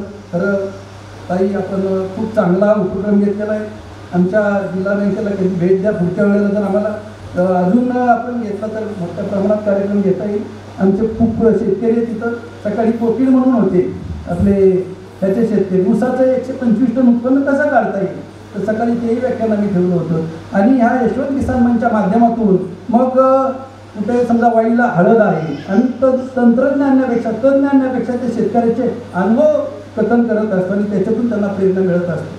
तर्फेताईंनी सुद्धा कृषीभूषण वगैरे पुरस्कार मिळाले स्वतः महिला असून सुद्धा त्यांनी खूप चांगलं काम केलेलं आहे. स्वतः ट्रॅक्टर चालवतात आपल्या सगळ्यांना मला अगदी आनंद वाटतो. आणि ते आमच्या कर्जदार आहेत म्हणण्यापेक्षा आमच्याशी त्यांची वेगळी बांधिलकी आहे. त्यांचा आम्ही वेळोवेळी सल्ला घेतो आमच्या धोरणामध्ये. तर असे काही शेतकरी या ठिकाणी उपस्थित आहेत. आपल्या अनुभवाचा वापर आपण समाजाशी समाजासाठी करा. हेच खरं आजच्या दिवसाचं महत्त्व आहे. म्हणजे आपला महाराष्ट्र दिन आहे. त्या निमित्त आपण सर्वांनी आज या पुरस्काराच्या निमित्तानं एक संकल्प सोडला पाहिजे. आम्हीही सातत्याने नवनवीन प्रयोग करत असतो. आमच्या शेतकऱ्यांच्या टूर्स असतात. देशात जवळपास आम्ही शंभर शेतकरी पाठवलेले आहेत. आमच्या बँकेनेही त्याला मदत केलेली आहे. आणि मीही आज माझ्या शेतामध्ये प्रयोग करतो. वेळ मग कमी मिळतो. पण नवीन काय आलं की लगेच ते स्वीकारत असतो. दहा दिवसापूर्वी मी सहा महिन्यापूर्वी सहा गायी आणल्या. म्हटलं बघूया शेणखत शेती अजून आमची आहे. तर गेली ताई मी बघतो मला आश्चर्य वाटलं गाईचं दूध. वीस लिटर गाई दूध देते आज माझी. सहा गायी आहेत. आणि मला दररोज पाच हजाराचं उत्पन्न मिळतं. पैसे किती मिळतात त्याच्यापेक्षा जो आनंद मिळतोय तो दॅट इज फार इम्पॉर्टंट तर ते आपण करा आणि आज पुरस्कारात तुमचा सन्मानित होतोय. पुरस्कार सुद्धा यांना धन्यवाद देतो. आज आपण घर वेगवेगळ्या फील्डमधले शेतकरी या ठिकाणी एकत्रित केले. त्या सर्वांना शुभेच्छा देतो आणि आपल्या कार्यातून एक समाजाला दिशा आणि प्रेरणा द्या. द्या अशी अपेक्षा व्यक्त करतोय. सगळ्यांना शुभेच्छा देतो. जय हिंद जय सरकार. धन्यवाद सर. खरं तर मी सरांच्यावरती होते. की तुम्ही येणार नाही म्हटलं काय झालं? थोड्या वेळापूर्वी विलासराव शिंदे साहेब येणार होते. त्यांना अर्जंट एक काम लागलं. त्यामध्ये फलटणमधूनच माघारी फिरले. ते आले होते पण त्यांना काम लागल्यामुळे ते परत फिरले. आणि सरकारी साहेबांचा पण निरोप आला की मी येऊ शकत नाही. मी म्हटलं असं का? राजकीय कार्यक्रम असतं तर तुम्ही नक्की आला असता. आणि महिला काम करते तुम्ही यायचं नाही म्हणजे आमचा अपमानच झाला ना? मग ते सर माझ्या मी अशी घुसले त्याबरोबर ते लगेच निघाले. आणि इथं पोहोचले. खरंच तर धन्यवाद. तुमचं मार्गदर्शन खूप महत्त्वाचं होतं. कारण जिल्हा बँक ही शेतकऱ्यांना अटॅच बँक असते. त्यामुळे जिल्हा बँकेचे सीईओ सर पाहिजेच होते. आणि त्यांनी माझा हट्ट पूर्ण केला. त्याबद्दल मी सरांची खरंच ऋणी आहे. धन्यवाद. धन्यवाद. नक्की डॉक्टर राजेंद्र सरकार साहेब आपण या ठिकाणी भेट दिलात. आपला मनस्वी आभार. यानंतर मी सन्मान्य तृप्ती धनवटे मॅम सन्मान्य अध्यक्षा महाराष्ट्र व्यावसायिक संघटना पुणे यांना विनंती करतो की आपण मला व्यक्त करावं. आदरणीय तृप्तीजी धनवटे मॅम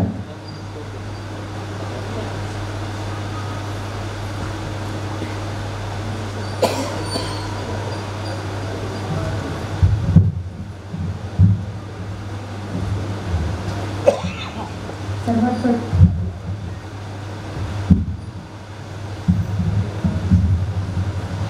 सर्वात प्रथम महाराष्ट्र दिनाच्या आपल्या सर्व बांधवांना हार्दिक शुभेच्छा.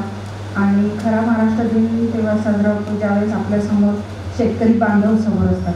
त्यामुळे शेतकरी बांधवांना पण माझ्याकडून महाराष्ट्र दिनाच्या हार्दिक शुभेच्छा. तसंच आज एक कामगार दिन म्हणून पण साजरा केला जातो. त्यामुळे कामगार दिनाच्या सुद्धा आपल्याला सर्वांना हार्दिक शुभेच्छा. व्यासपीठावर सर्व मान्यवरांचं आणि अध्यक्ष सरांचं मी इथं स्वागत करते. आणि सरांनी आता बरीच बहुमोलाची जी माहिती दिली मी महाराष्ट्र राज्य व्यावसायिक संघटनेमार्फत काम करते.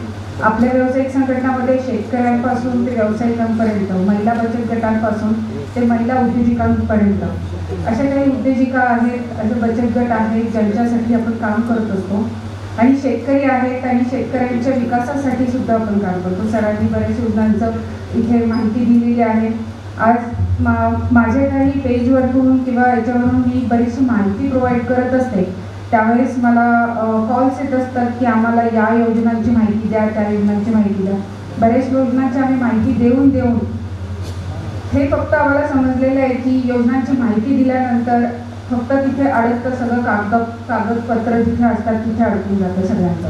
आणि सर्वात प्रथमतः मी तरी ज्यावेळेस पूर्ण महाराष्ट्राच्या विकासाचा किंवा आपण शेतकऱ्यांच्या विकासाचा का अभ्यास करतो त्यावेळेस सगळ्यात जास्त कागदपत्रांची पूर्तता जर कोणाकडे असेल तर ती शेतकऱ्यांकडे असते. आणि ती पूर्तता करून प्रत्येक योजनांची माहिती सुद्धा त्यांच्याकडे असते परंतु ती योजनांची परिपूर्ण माहिती त्यांच्यापर्यंत पोहोचली जात नाही अशा काही योजनांची माहिती आमच्या मार्फत सुद्धा आम्ही पोच पोहोचली करतो. खादी विकास असेल एम एस सी असेल किंवा ग्रामीण विकास असेल यांचा आम्हाला पूर्णपणे महाराष्ट्रातून आणि केंद्र केंद्रामधून सुद्धा आम्हाला चांगला सपोर्ट आहे.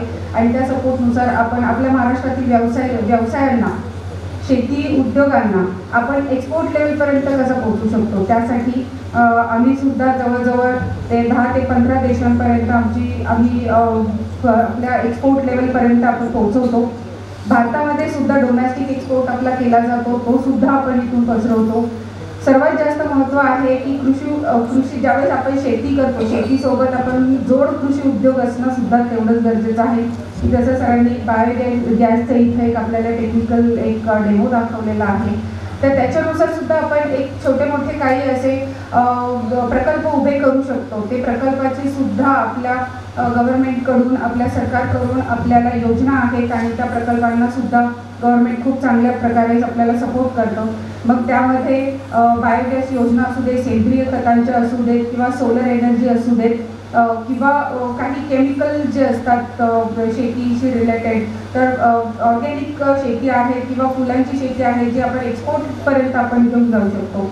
तर या योजना सुद्धा आपल्यापर्यंत पोहोचत असतात आणि त्याची माहिती आमच्या व्यावसायिक संघटनेमार्फत मी पोहोचवत असतो. तर व्यावसायिक म्हटल्यानंतर सर्वांचा असा प्रश्न येतो व्यावसायिक म्हटल्यानंतर शेतकरी आणि व्यावसायिकांचा काय? खरं म्हणजे शेतकरीच हा सर्वात मोठा व्यावसायिक आहे. आणि व्यवसाय हे पुढे चालतात हे वेगळ्या पद्धतीने. उद्योग वेगळे आहेत व्यवसाय वेगळे आहेत इंडस्ट्रीज वेगळे आहेत. यांच्या मार्फत काम करत असताना सर्वात जास्त व्यावसायिक जर कोणी आहे तर ते शेतकरी आहेत आणि शेतकऱ्यांचे व्यवसाय हे पूर्णपणे महाराष्ट्रामध्ये पसरलेले आहे. आणि आपल्या महाराष्ट्राची खरी ओळख ही ह्या शेतकऱ्यांच्या व्यवसायामुळे आहे. आणि जसं काही वेळा असं म्हटलं जातं की महाराष्ट्रातून उद्योग बाहेर गेलेले आहेत. पण खरं म्हणायला गेलं तर सर्वात मोठं जे शेतकऱ्यांचं शेतकऱ्यांचं काम आहे ते उद्योग आणि त्यांचे कृषी उद्योग याच्या मार्फत जे काम केलं जातं ते पूर्ण देशभरात त्याची चर्चा होत असते आणि त्यामुळे महाराष्ट्रातील शेतीमालाला आणि पिकाला ही बा बाहेर सुद्धा तेवढी मागणी आहे. महाराष्ट्राच्या बाहेर सुद्धा तेवढी मागणी आहे. आणि त्याची जर आपण पारंपरिक शेती करतोय तर आपल्या पुढच्या पिढींना मार्केटिंगवरती भर देणं हे आपण त्यांना शिकवलं पाहिजे.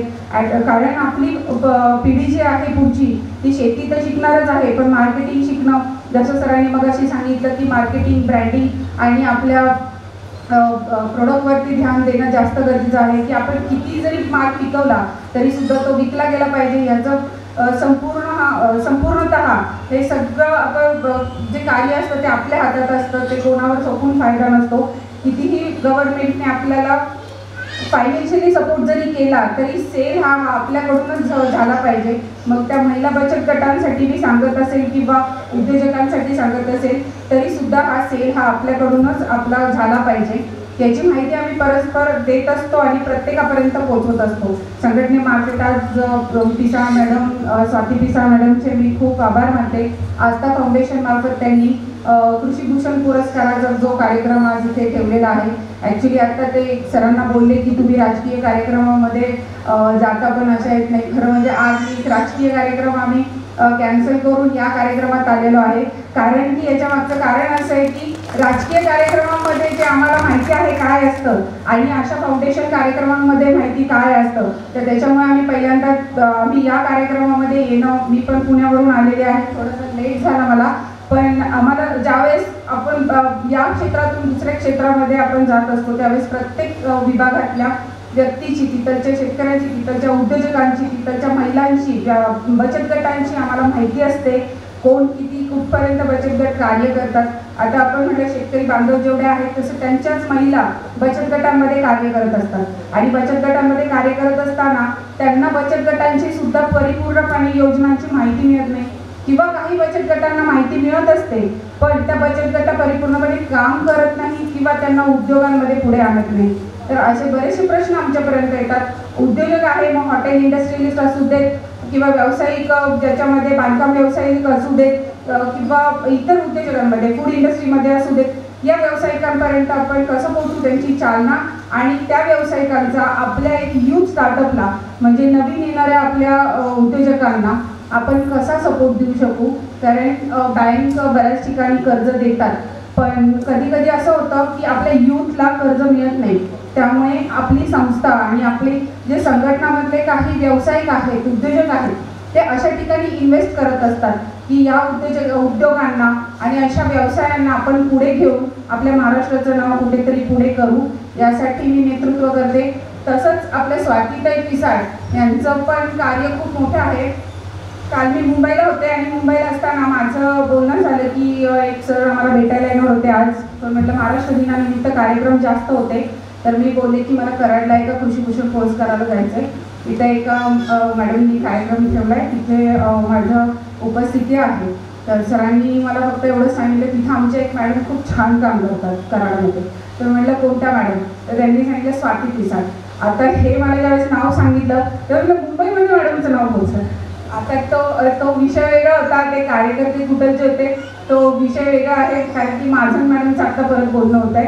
काय खरं तर मॅडमनी हा प्रोग्राम महिला दिनानिमित्त बरेच कार्यक्रम घेणार होत्या. त्यामुळे माझी हजेरी लागणार हे मी त्यांना आधीच बोलले होते. पण आणि आजचा कार्यक्रम जर मी स्किप केला असता तर मला आपल्या शेतकरी बांधवांना भेटायची संधी माझी चुकली असती. त्यामुळे मी आधीच त्यांना शब्द दिलेला मी तो पाळला आजचे बाकी कार्यक्रम कॅन्सल करून या कार्यक्रमाला आले. पण मला या गोष्टीचा खूप खूप म्हणजे खूप आनंद होतोय की आपल्या सख्यांना भेटून मान्यवरांना भेटून सर्वांना मी एक कार्यक्रमाच्या शुभेच्छा देते. आणि जे पुरस्कारार्थी आहेत पुरस्कार हे आपल्याला प्रेरणा देतात आणि प्रेरणेतून आपल्याला उत्तेजना मिळते. त्यामुळे सर्व पुरस्कार बांधवांचे सुद्धा मी हार्दिक अभिनंदन करते. आणि स्वातीताईंना आणि आस्था फाउंडेशनला पुढील कार्यासाठी सुद्धा मी शुभेच्छा दिली धन्यवाद. मी सन्मान्य डॉक्टर हेमंत धुमाल साहेब मुख्य अभियंता जलसंपदा विभाग पुणे यांना विनंती करतो की आपण मार्गदर्शन करावं. आदरणीय डॉक्टर हेमंत धुमाल साहेब.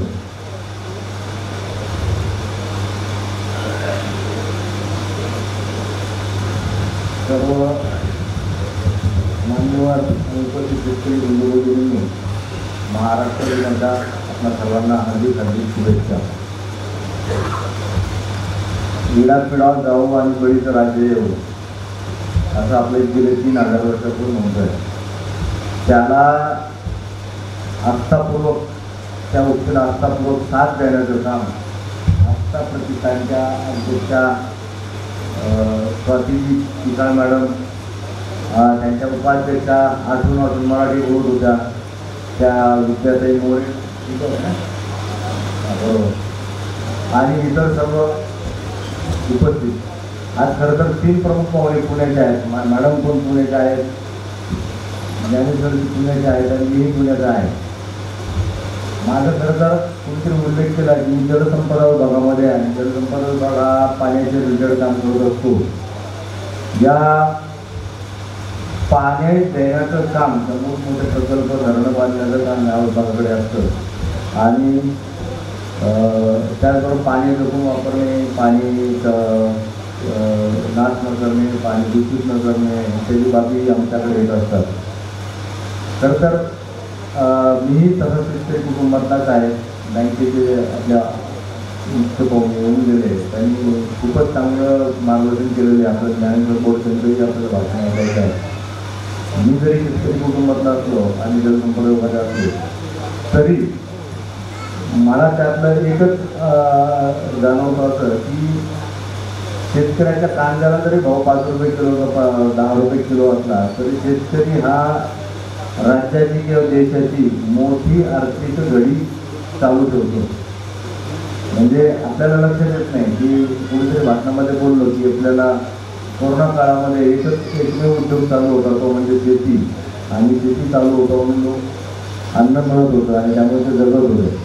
शेतकरी डिलीट केला हा जरी भावनेचा बाब जरी सोडला तरी आर्थिक इकॉनॉमी म्हणजे आर्थ- ज्याला इकॉनॉमी सुद्धा कळतं देशाची मोठं आर्थिक उत्पन्न जो देश शेतीप्रधान आहे साठ सत्तर टक्के लोक तिथून अवलंबून आहेत परंतु उरलेले तीस टक्के लोकांचं सुद्धा जीवनमान किंवा देशाचं एकंदरीत हे शेतकऱ्यांवरती अवलंबून आहे.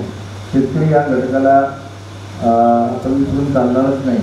आपण सर्वजण ज्यांना पुरस्कार मिळाले त्यांचं हार्दिक हार्दिक अभिनंदन करूया. आधीच कारण नंतर मला बोलायची संधी मिळणार नाही.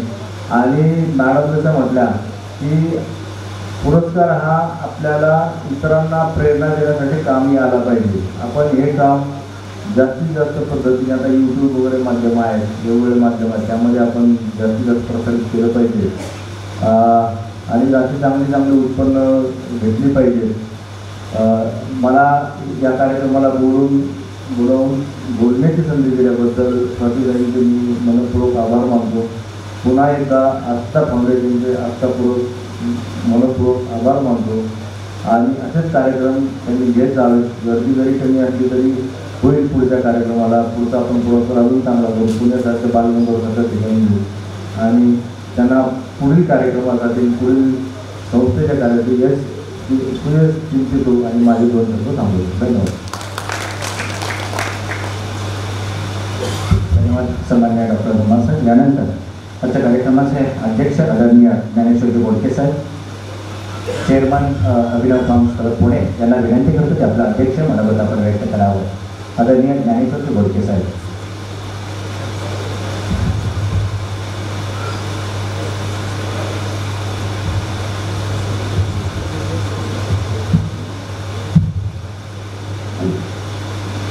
आजचा सामाजिक संस्थेच्या वतीनं ज्या पुरस्कारांचा कार्यक्रम करण्यात आलेला आहे या कार्यक्रमाच्या निमित्तानं व्यासपीठावर उपस्थित असलेले सर्व आदरणीय मान्यवर समोर बसलेले सर्व पुरस्कार्थी ज्यांनी ज्यांनी या संस्थेला मदत करून अतिशय सुंदर अशा कार्यक्रमाचं आयोजन करणारे मदत करणारे सगळी मंडळी. आपण सगळेजण आता एका वेगळ्या नजरेने शेती आणि शेतीच्या विभागाकडे बघतो कारण कोरोनामध्ये तुम्ही सगळ्यांनी पाहिलं सगळे मोठमोठे उद्योग बंद होते. फक्त शेतकरी काम करत होता. आणि म्हणूनच एकशे चाळीस कोटी जनतेला अन्नाचा एकही सण पडला म्हणजे तुमची ताकद करायची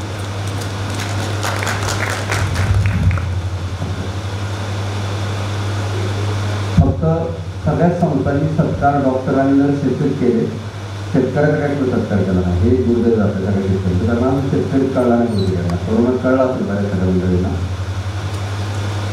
डॉक्टर गोळी आणि औषध देताना सांगतात की ही गोळी म्हणजे काय जेवण कर. म्हणजे डॉक्टरांचं पण आधी शेतकरी विचारायचं जेवण काय ठेवून करायचं काही त्यामुळे तुमच्या सगळ्यांची ताकद ओळखून या संस्थेने शेतकऱ्यांचा सन्मान करायचा आणि सोबत आजच्या एक वेळचा महाराष्ट्र दिन हे सगळ्यात मोठं काम केलेलं आहे. आणि या सगळ्या महिला हे काम करतात. जेवढे इथं उद्योगपती आणि ही सगळी मंडळी असेल राजेंद्र सरकारी साहेब गेले असताना तरी त्यांना सांगणार होती यांचे सगळे कार्यक्रम जिल्हा बँकेने केले पाहिजे. नुसतं कर्ज देऊन चालणार नाही तिथे व्याजाचे एवढे पैसे मिळतात त्याचे अशा कार्यक्रमाला खर्च करायला काय बिघडलं? ते करत नाही. नुसतं व्याज पाहिजे आणि याचा काही सिस्टमला हेच खरं काम होणं गरजेचं असतं. म्हणून आपण सगळ्यांनी पुरस्कार पुरस्कारची आणि आपण सगळ्यांची पुरस्कार आणि तुमची सगळ्यांची जबाबदारी वाढणार आहे. तर आम्ही गेल्या तेवीस वर्षापासून अभिनव फार्मर्स क्लब मार्फत सध्या एक लाख छप्पन्न हजार शेतकरी भाज्या धान्य दूध आणि फळाचं उत्पादन करतो. आणि हा सर्व शेतमाल महिला बचत गटांमार्फत स्वच्छ करतो पॅकिंग करतो. त्याचं बास्केट बनवतो आणि घरोघरी होतो किती पैसे कमवतोय आम्ही? तर साधारणपणे दीड लाख शेतकरी म्हणून एक हजार पन्नास कोटी रुपये मागच्या वर्षी कमवतो. कोण म्हणलं पैसे मिळत नाही शेतीत? शेतीत शंभर टक्के पैसे आहे आता तुम्हाला सगळ्यांनी पण सांगितलं.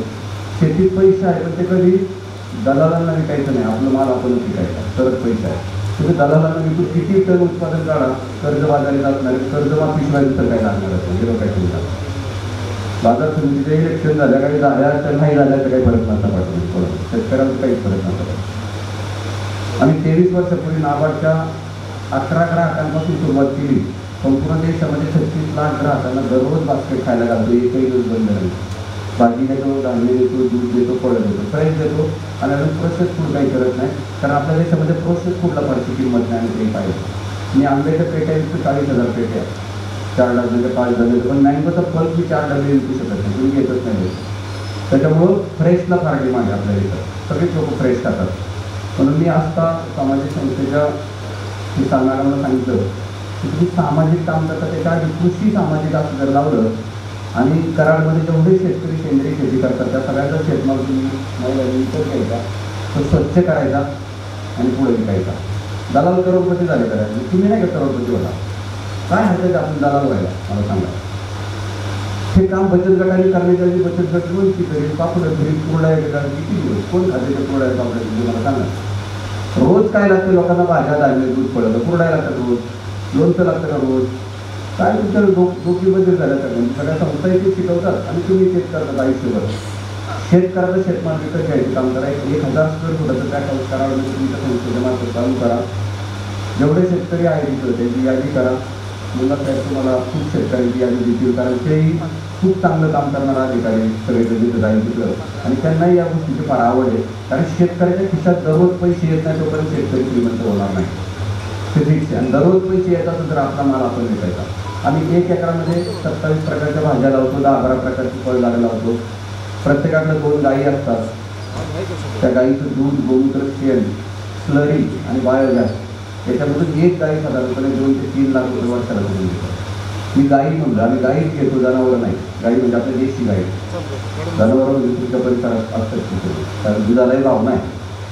आणि दुधामध्ये न्यूट्रिशन आहे नाही. देशी गाईमध्ये गीर साईबाल सारखा राठी लाल कंदारी. त्या सगळ्या गाई अतिशय छान पद्धतीने दहा बारा लिटर दूध देतात. पुण्यामध्ये आम्ही शंभर रुपयाने दूध विकतो आणि मुंबईमध्ये एकशे साठ रुपयाने दूध विकतो दुधाला वेटिंग आहे. म्हणजे तरी पाहिजे आमच्याकडे त्याच्या दुधामध्ये सूर्यतत्व असतात. म्हणून लोक आता अमृत समान दूध प्यायला बघतात दूध पिल्यानंतर चरबी वाढत नाही. शरीर एकदम हलकं होतं. रात्री झोपताना सगळे लोक छत्तीस छत्तीस हजार लोक छत्तीस लाख लोक एक प्याला दूध गरम प्यायची हळद पिसून प्यायची कोणालाही करोना झाला नाही करोनाच्या काळात. त्याला औषध पाहिजे करायचा. करायच्या नेहमी ती घालून लोक जी मशीनमध्ये गेली ती गेली. तर ती घरी बरी झाली ती बरी झाली. अशा सगळ्या सिस्टम तुम्हाला आम्हाला त्या सगळ्या यंत्रणेमध्ये माहिती आहे. त्याच्यामुळे शेतकऱ्याने आता भाजी म्हणून विकायची नाही तर औषध म्हणून विकायचं भाजी. तेव्हा आपल्याला पैसे मिळतो एक औषध शंभर रुपयात तयार होतं आणि दहा हजार दोनशे रुपयाची एम आर पी असते. म्हणजे फार्मास्युटिकल किती पैसे जाऊन आपल्याला काय जमत नाही सगळं म्हणून या संस्थेने भाजीपाला धान्य दूध आणि फळांची विकत घ्यायचे शेतकऱ्यांना आणि विकायची व्यवस्था करा तुमचं जे पूर्वीले प्रत्येक तुमचे ज्या मेंबर आहेत आजचा आहे सगळ्या मेंबरांनी दहा दहा वीस वीस कस्टमरला फोन करायचे की दादा मी आता ऑर्गॅनिकमध्ये उतरलोय ऑर्गॅनिक हा शब्द वापरा कारण केमिकलवाले भरपूर आहेत गल्ली गोळा फिरतात त्याच्यामुळे ते विकलं जाणार नाही. पण ऑर्गॅनिकवाल्याला प्रचंड डिमांड आहे सगळ्या क्षेत्रामध्ये. लोकांना आता वीस मुक्त अन्न खायला पाहिजे. माझ्याकडे दोन चार कोटी रुपये आहेत आणि मी चाळीस मरतोय काय करायचं पाहिजे बरोबर ना? मला जगण्यापुरते पैसे आले तर माझं आयुष्य शंभर वर्षाचे मजा येते. आम्ही पैसे कमावतो आणि खर्च करतो. काहीच अडचण येत नाही. बायका पण मायाला जात नाही आमचं जाऊन दोन दिवस राहते मी जरा दोन हजार रोज मिळतात ते काही सोडायचं मला रोज पैसे बायकाच्या हातात आले पाहिजे. मग तुझं आमच्या खिशात आलं की मग आम्ही बाराला गेलो जातो घरातून मग बायकाच्या हातात आल्या पैशाचा उपयोग चांगला होतो. आणि सगळ्या शेतकऱ्यांची सगळ्यात मोठी मॅनेजर पुन्हा होतं त्याची बायको. दुसरा मॅनेजर काय म्हणतात मला आला नाही. ती चांगल्या पद्धतीने पैसे साठवते आणि नेमकी तुमची संस्था महिला होती बऱ्याच महिला होती त्याच्यामध्ये. तर मग फार मोठी जबाबदारी पैसे सांभाळून तुम्ही पार पाडू शकता. आणि कराडमधल्या शेतकऱ्यांना सुरुवात सुरुवातीला तुम्ही शंभर टक्के आत्मनिर्भर बनवू शकता.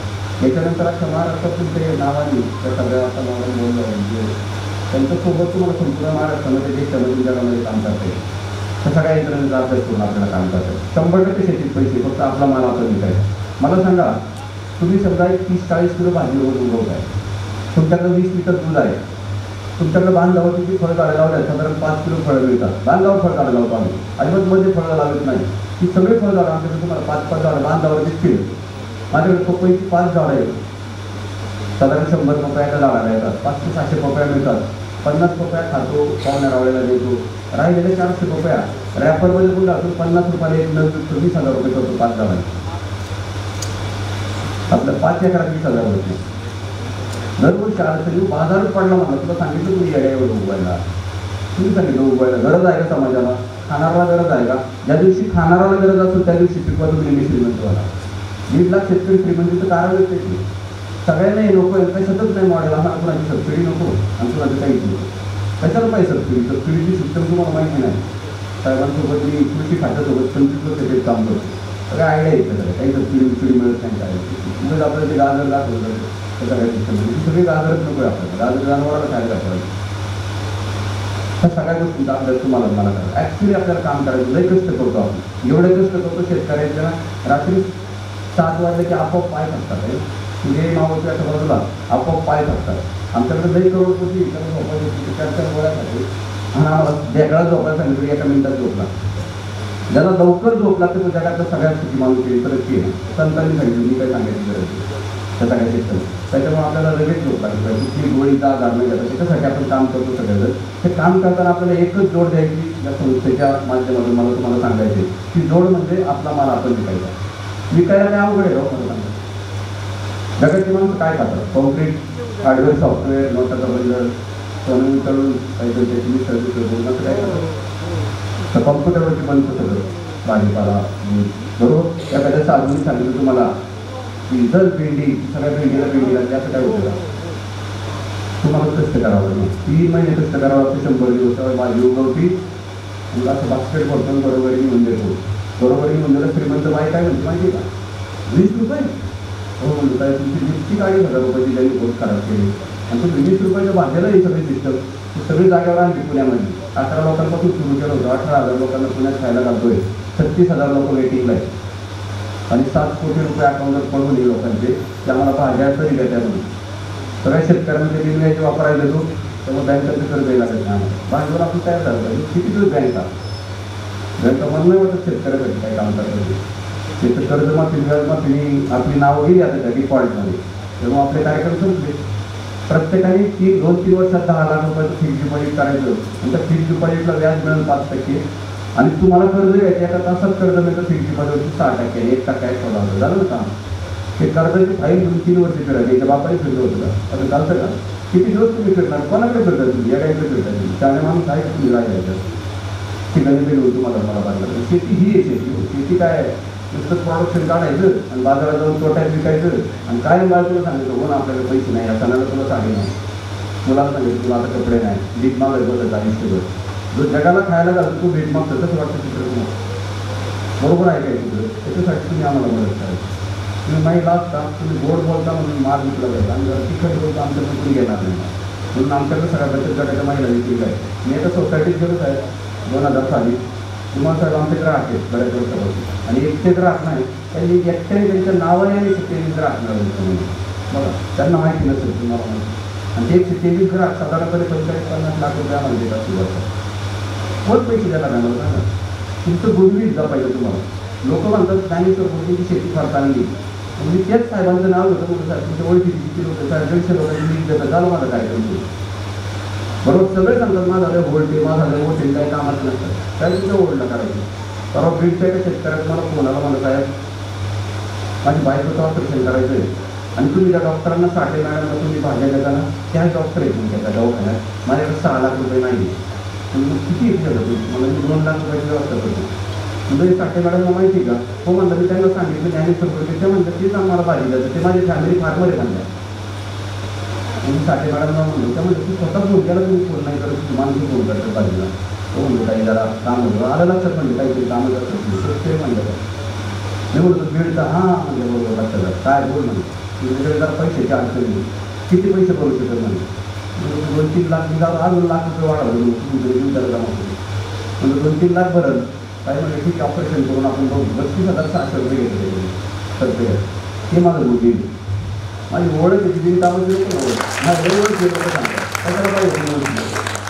मी ताईला सांगितलं की हा कार्यक्रमात जर पहिलं सांगितलं तर तुम्ही तर दिले दिलं बरोबर ज्या देणगीदाराला आपण व्यवसाय देतोय ते देणगीदार देतील बरोबर ना?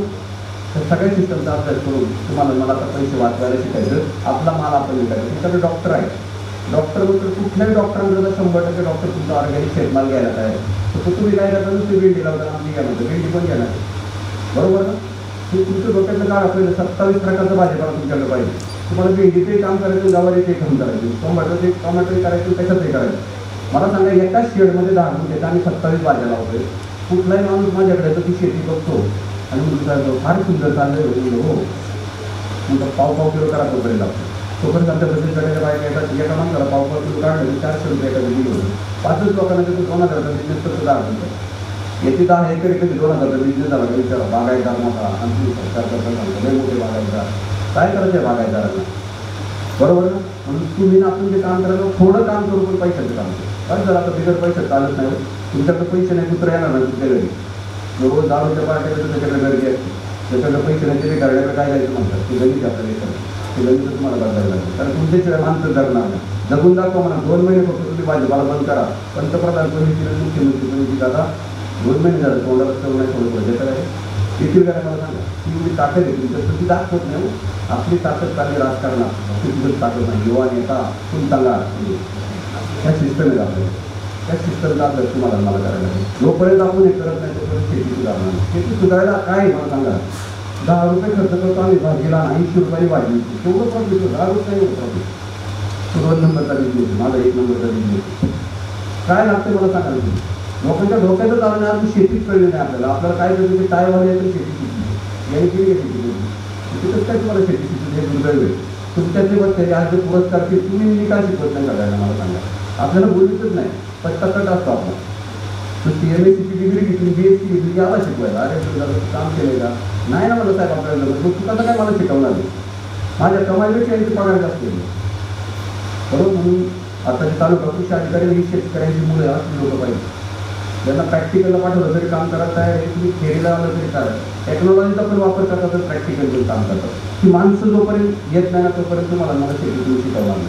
आणि तुम्हाला शेती शिकवायची काय गरज आहे? तुमच्या आजोबा शेती करायची वडील शेती करतात तर तुम्ही शेती करतात तुम्ही कुशाल शिकायला जाता शेती लाज वाटते.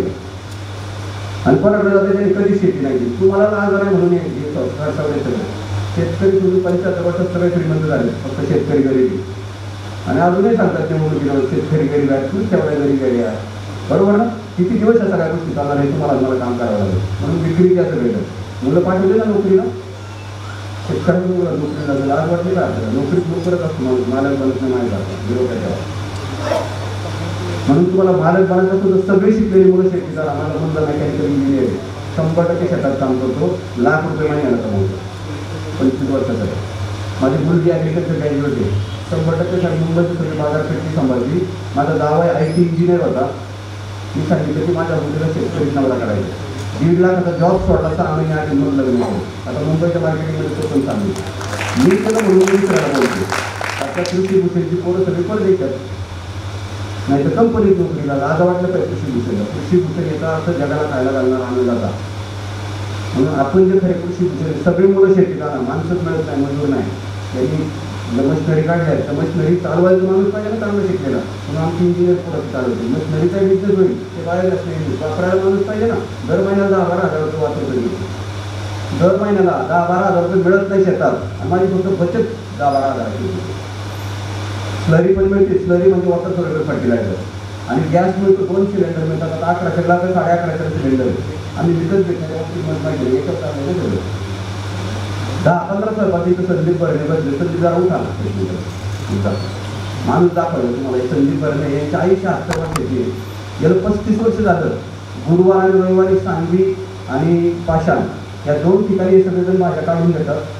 नेऊन घेतात आणि त्यांची आई विक्री करते. सोळा ते वीस हजार रुपयाचा बिझनेस करते ती बाई गुरुवारी आणि सोळा ते वीस हजारचा बिझनेस करते रविवारी शहात्तर वर्षाची बाई. तुम्ही व्हिडिओ जर टाकली तर कोणती गाडी तुमची? ही नवामध्ये भाजी विकणारी आजी फार फेमस सगळ्यांची होती त्यांच्या विरुद्ध म्हणजे आता तीन बंगले बांधायचे पन्नास पन्नास लाखाचे तिघा भावांना. सगळे दीड करोड रुपये तिच्याकडे साठलेले फक्त भाजी विकते आणि आपले या बाग आहे काय बाग आहे. आणि रोज कर्जाची फाईल तरी चालला बघलं पाहिजे याच्या मागं म्हणजे त्याच्या मागं याचा वडापाव खाईल त्याचं काय खाईल किती दिवस चालणार आहे? आम्ही कुणाची दारू घेत नाही मटण नाही खात कुणाची वडापाव खात नाही. आमच्या आमच्याकडे आम्ही फारसं आमचं आमची काकडी नेहमी तीच खात करतो आता आहे संध्याकाळी जाताना नाही आमच्या शेतकऱ्याचं. म्हणजे मग ती काळजी घेऊया त्या सगळ्या सिस्टमची हे गणित तुम्हाला तुम्हाला घेऊन काम करावं लागेल. या सगळ्या सिस्टम जोपर्यंत तुम्ही निर्मित जात नाही ना तोपर्यंत काही नाही प्रॉब्लेम तुमच्या संस्थेला कोणाची मदत लागणार नाही. तुम्ही फक्त शेतकऱ्याचा शेतमाल विकत घ्या. तो पुढे विकू आपण. शेतकऱ्याला जर दहा रुपये खर्च असून भाजीला तर वीस रुपये देऊ बरोबर? मी तुम्हाला चाळीस टक्का आणतो तुम्हाला वीस रुपये शेतकऱ्याला येतो त्यामध्ये काही जाऊ. नका काय नाही. किती पैसे मिळतील तुम्हाला? बरोबर? मग आपली पोटन काय करू शकतो त्याच्यामुळे सगळ्यांनी सगळ्या करावं लागेल. फक्त ती राजकारणी पदवी त्याच्या राजकारणामध्ये सगळ्या अडचणी होत्या पदांमध्ये? काही नाही काही नुसतं ते शिकावं नाही. आमच्याकडे लई गेली जमीन विकू आता वाटमध्ये पदा पाहिजे लई पार्ट्या बिट्या द्यावं लागतं पद काही नाही विकत नाही गोष्टीला बरं त्यांना मानिती नाही. तुम्ही काळ बदलला. कोरोनानंतर लोकांना आता सक्षम व्हायचे चांगलं जगायचं सगळ्या सिस्टम अभ्यास तुम्हाला मला करायचा. बरोबर? म्हणून छान पद्धतीने आपण सगळेजण काम करू आमच्याकडे रामदेव बाबा श्री श्री शंकरजी मोहन भागवतजी सगळे लोक जेवायला आहेत बरोबर मी किती चांगल्या लोकांना खायला लागतो मी पुढे राहायचे नाव सांगितलं बरोबर ना ही लोक सांगतात ना म्हणजे स्वामी रामदेव पुण्यात आहेत तर जेवण जेवण लागणार आहे दर महिने सेवा करायला मिळते ना. रामदेव तुला माहिती आहे पंचवीस हजार करोडचा टर्न होईल. तर अजून आहे आता दीड कोटी लोक कामाला येते हरिद्वार आमचे मित्र आहेत पंचवीस हजार कोटीचा टर्न एकही हिरोईन जाहिरात दिली एकटं जाहिरात दिली कोणाचा प्रयोग आणि पंचवीस हजार कोटीचा टर्न पुढे तुमचं एम बी ए करता जॉब मिळाला. आठवीवाला माणूस भारताच्या सगळ्या जगाच्या एम बी एला ट्रेनिंग देते पतंजलीला एम बी ए बाराशे केली. ट्रेनिंग घ्यायला रामदेव बापरे त्यांना रामदेव आठवी शिकले. गुरुकुलमध्ये शिकले. ते काही कॉलेज बिलेजमध्ये नाही शिकले.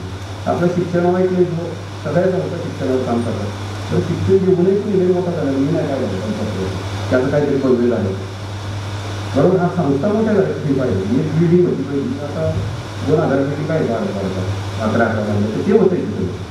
सगळ्या गोष्टीला अभ्यास करायला बारा नंतर पास झाला ना शेतकऱ्याला येऊ दे काय झालं शिकलेलं म्हणजे आता शेती करायला आहे आई म्हटलं ना शिकवली कशाला तुला? तर शिकवलं पण जायला तयार होतो शेतात काम करायला लय शिकलेली मग शेतीत काम करायला एक दिवशी शेतात काम करायला माणसं नाही मिळालं मग काय खाते मला विचार करायचा चिंतन करायला लागते आता वेळ लागला आपल्याला वेळच कमी करायला तुम्ही कंटाळले होते की तुझं माझं तुम्ही झालं मोठी सांगतो मला माहिती होती काय त्या सगळ्या क्षेत्रामध्ये त्याच्यामुळे सगळ्या यंत्रणेमध्ये मला वाटतं कार्यक्रम झाल्यानंतर यांना आता आपण सगळं आहे त्याच्यामुळे परत एनर्जी आपल्याला येणार आहे. मी पण थोडीशी एनर्जी मिळतो त्या सगळ्या यंत्रणेमध्ये म्हणून हे सगळी सिस्टम मित्रांनो आपल्याला जपून जी शेती करायची त्याच्यामध्ये मी एक एकरचं मॉडेल एक पाच मिनिटं सांगता आणि सांगता येईल आवाज येत नाही आवाज येतो सगळ्यांना ओके हो मी जरा दोन जवळ होतो त्यांना सांगितलं तर एक एकराचा आम्ही प्रोजेक्ट करतो. एक एकरला दहा हजार लिटर पाणी लागतं फक्त. सिंगल फेज किंवा सोलरची वीज. आम्ही आता मोठ्या प्रमाणात सोलरचे पंप घेतले. एक एकरसाठी ती वीज मला वाच होते. एक तासाची वीज लागते. त्याच्यामध्ये दहा दहा गुंठ्याचे चार प्लॉट करतो एका एकरामध्ये. बांधावरती पाच केशर आंबा पाच हापूस आंबा पाच पेरू पाच संत्री पाच मोसंबी पाच आव्या करून सध्या मोठ्या प्रमाणात पाच जाम आणि जामची झाडं बघायला गेलो होतो. त्याच्यानंतर पाच देशी केळी पाच संत्री पाच मोसंबी शेवगा दहा दोन कढीपत्ता दोन लिंबू अशी सगळी झाडं लावतो. कारण मला तुम्हाला गृहिणींना घरी बास्केट द्यायचं ना तुम्हाला कुठं जायला नाही लागलं पाहिजे तिकडं ती सगळी माझ्या फळं लावतो त्याला एक ड्रीप करतो आणि दर मग आठवड्यात एक दर महिन्याला एकदा शंभर लिटर स्लरी ड्रीपने त्या फळझाडांना सोडतो. त्यामुळे मला कुठलं खत द्यायची गरज नाही माणसाची गरज नाही. माणसं नाही ना. तर डोकं लावायचं जरा. दीड लोक कार्यक्रम संपले जातात. आता टेक्नॉलॉजी आणि लोक या दोन्हीचा अभ्यास करायचा आपल्याला. झालं? मधल्या चार प्लॉटमध्ये दहा दहा गुंठ्यामध्ये पहिल्या प्लॉटमध्ये मी लावतो. दहा गुंठ्याचं शेडनेट हाऊस करतो. गारपीट झाली तरी मला हजार रुपये रोज मिळतील. जवळजवळ पाऊस आहे तीन महिने तरी मला हजार रुपये मिळतील. आणि टेम्परेचर साहेब अठ्ठेचाळीस डिग्री गेलं तरी माझ्या घरात हजार रुपये येते पैसे लागणार ना? हजार रुपये शेतकऱ्याला बाद झालं निर्वेश मी माणसाबद्दल मी बोलतोय. हा, थोडं डोक्याला दोन दोन कोटी मिळालेलं संपले नाही. काही करता नाही आलो. पुढं जायचं मला माहिती नाही. पाठ अकरा रात्री अकराला निघायची. आणि दहा काढायला पाचला आलो की आला घरी परत. पुढे गेला होता? पुन्हा नाही कळत नव्हता. या इंडस्ट्रीमध्ये गुंतवणूक करून आलो. काही वर्षाने असं कळलं की आभारबाद झाला असल्या गुंतवणूक करणारे बाजार नाही तुमच्या आमच्या सगळीकडे. बरोबर ना? म्हणून दहा गुंठ्यावरती शेडनेट करतो सहा लाख रुपये खर्च करतो. सहा लाख खर्चामध्ये दररोज हजार रुपये. किती झाले महिन्याचे तीस हजार रुपये. तीस हजारात कुटुंब पण मस्त सुंदर पद्धतीने सांग टॅक्स नाही ऑडिट नाही काही भानगडी नाही. प्रगतीशील शेतकरी म्हणून करतो ना डायरेक्टर म्हणून करत नाही. डायरेक्टर म्हणून केलं तर मग ते ऑडिट बिडिट भानगडी दे. मला भानगडी नको मला वेळ नाही शेतात कामाला भानगडीत कुठे वेळ आहे माणसंच नाही ना. झालं? मग पहिल्यांदा दहा गुंठ्यामध्ये म्हणजे हजार चालू झाला. आता तीस गुंठ्यावरती उघड्यावरचा भाजीपाला करतो. कारण सगळं कंट्रोल करायला सहा सहा लाख चोवीस लाख एवढी रक्कम बँका पण देत नाही. बँकात मला सांगतात मी नाबार्डच्या बॉडीवर पण आता भारताच्या. नाबार्डच मला सांगतं माऊली सहा लाखापर्यंत त्याला आम्ही देऊ बँक कर्ज समजा गेलं तर गेलं नाही दिलं तर नाही दिलं पण चोवीस लोक एवढं पैसे बँकेतलं पण नाही मग सहा लाखात ते शेडमेट झालं की कंट्रोल फार्मिंग झालं. किती गारपीट होत्या किती वादळ होत्या सुनामी होत्या चौथे होत्या निसर्ग होत्या तुम्हाला काही फरक पडणार बरोबर? ते नक्की. झाला हजार रुपयाचं मीटर फिक्स केला मग एक गाय घेतो. गाय म्हणजे आई आहे ना? देशी गाय म्हणजे आई घालत तीन आया सांभाळतो आम्ही फार. चार आया आता सांभाळतो आम्ही. पहिली आई माझी जन्म आली. दुसरी आई देशी गाई. तिसरी आई माझी माती जमीन. आणि आता चौथी आई म्हणजे भारत माता. तिच्यावर आपल्याला खूप प्रेम करायचं. आहे. कारण देश अभिमान आहे. मोदी आल्यानंतर जरा भारत मातेवर जास्त प्रेम. लोकांचं वाढलं. थोडासा देशप्रेमावरती लोक काम करायला लागलेत. आणि गरजेचंच आहे. आपला देश हा फार महान देश आहे. ह्या चार आया सांभाळतो. आणि चार आया सांभाळून सुंदर पद्धतीने काम करतो. जो माणूस ह्या चार आया सांभाळेल कधीच गरीब राहणार नाही. लिहून घ्या शंभर टक्के गरीब राहू शकत. आता मोठ्या प्रमाणात ती पोरं लई तुकार झाले. पंधरा वर्षाचं पोर आईचं ऐकत नाही.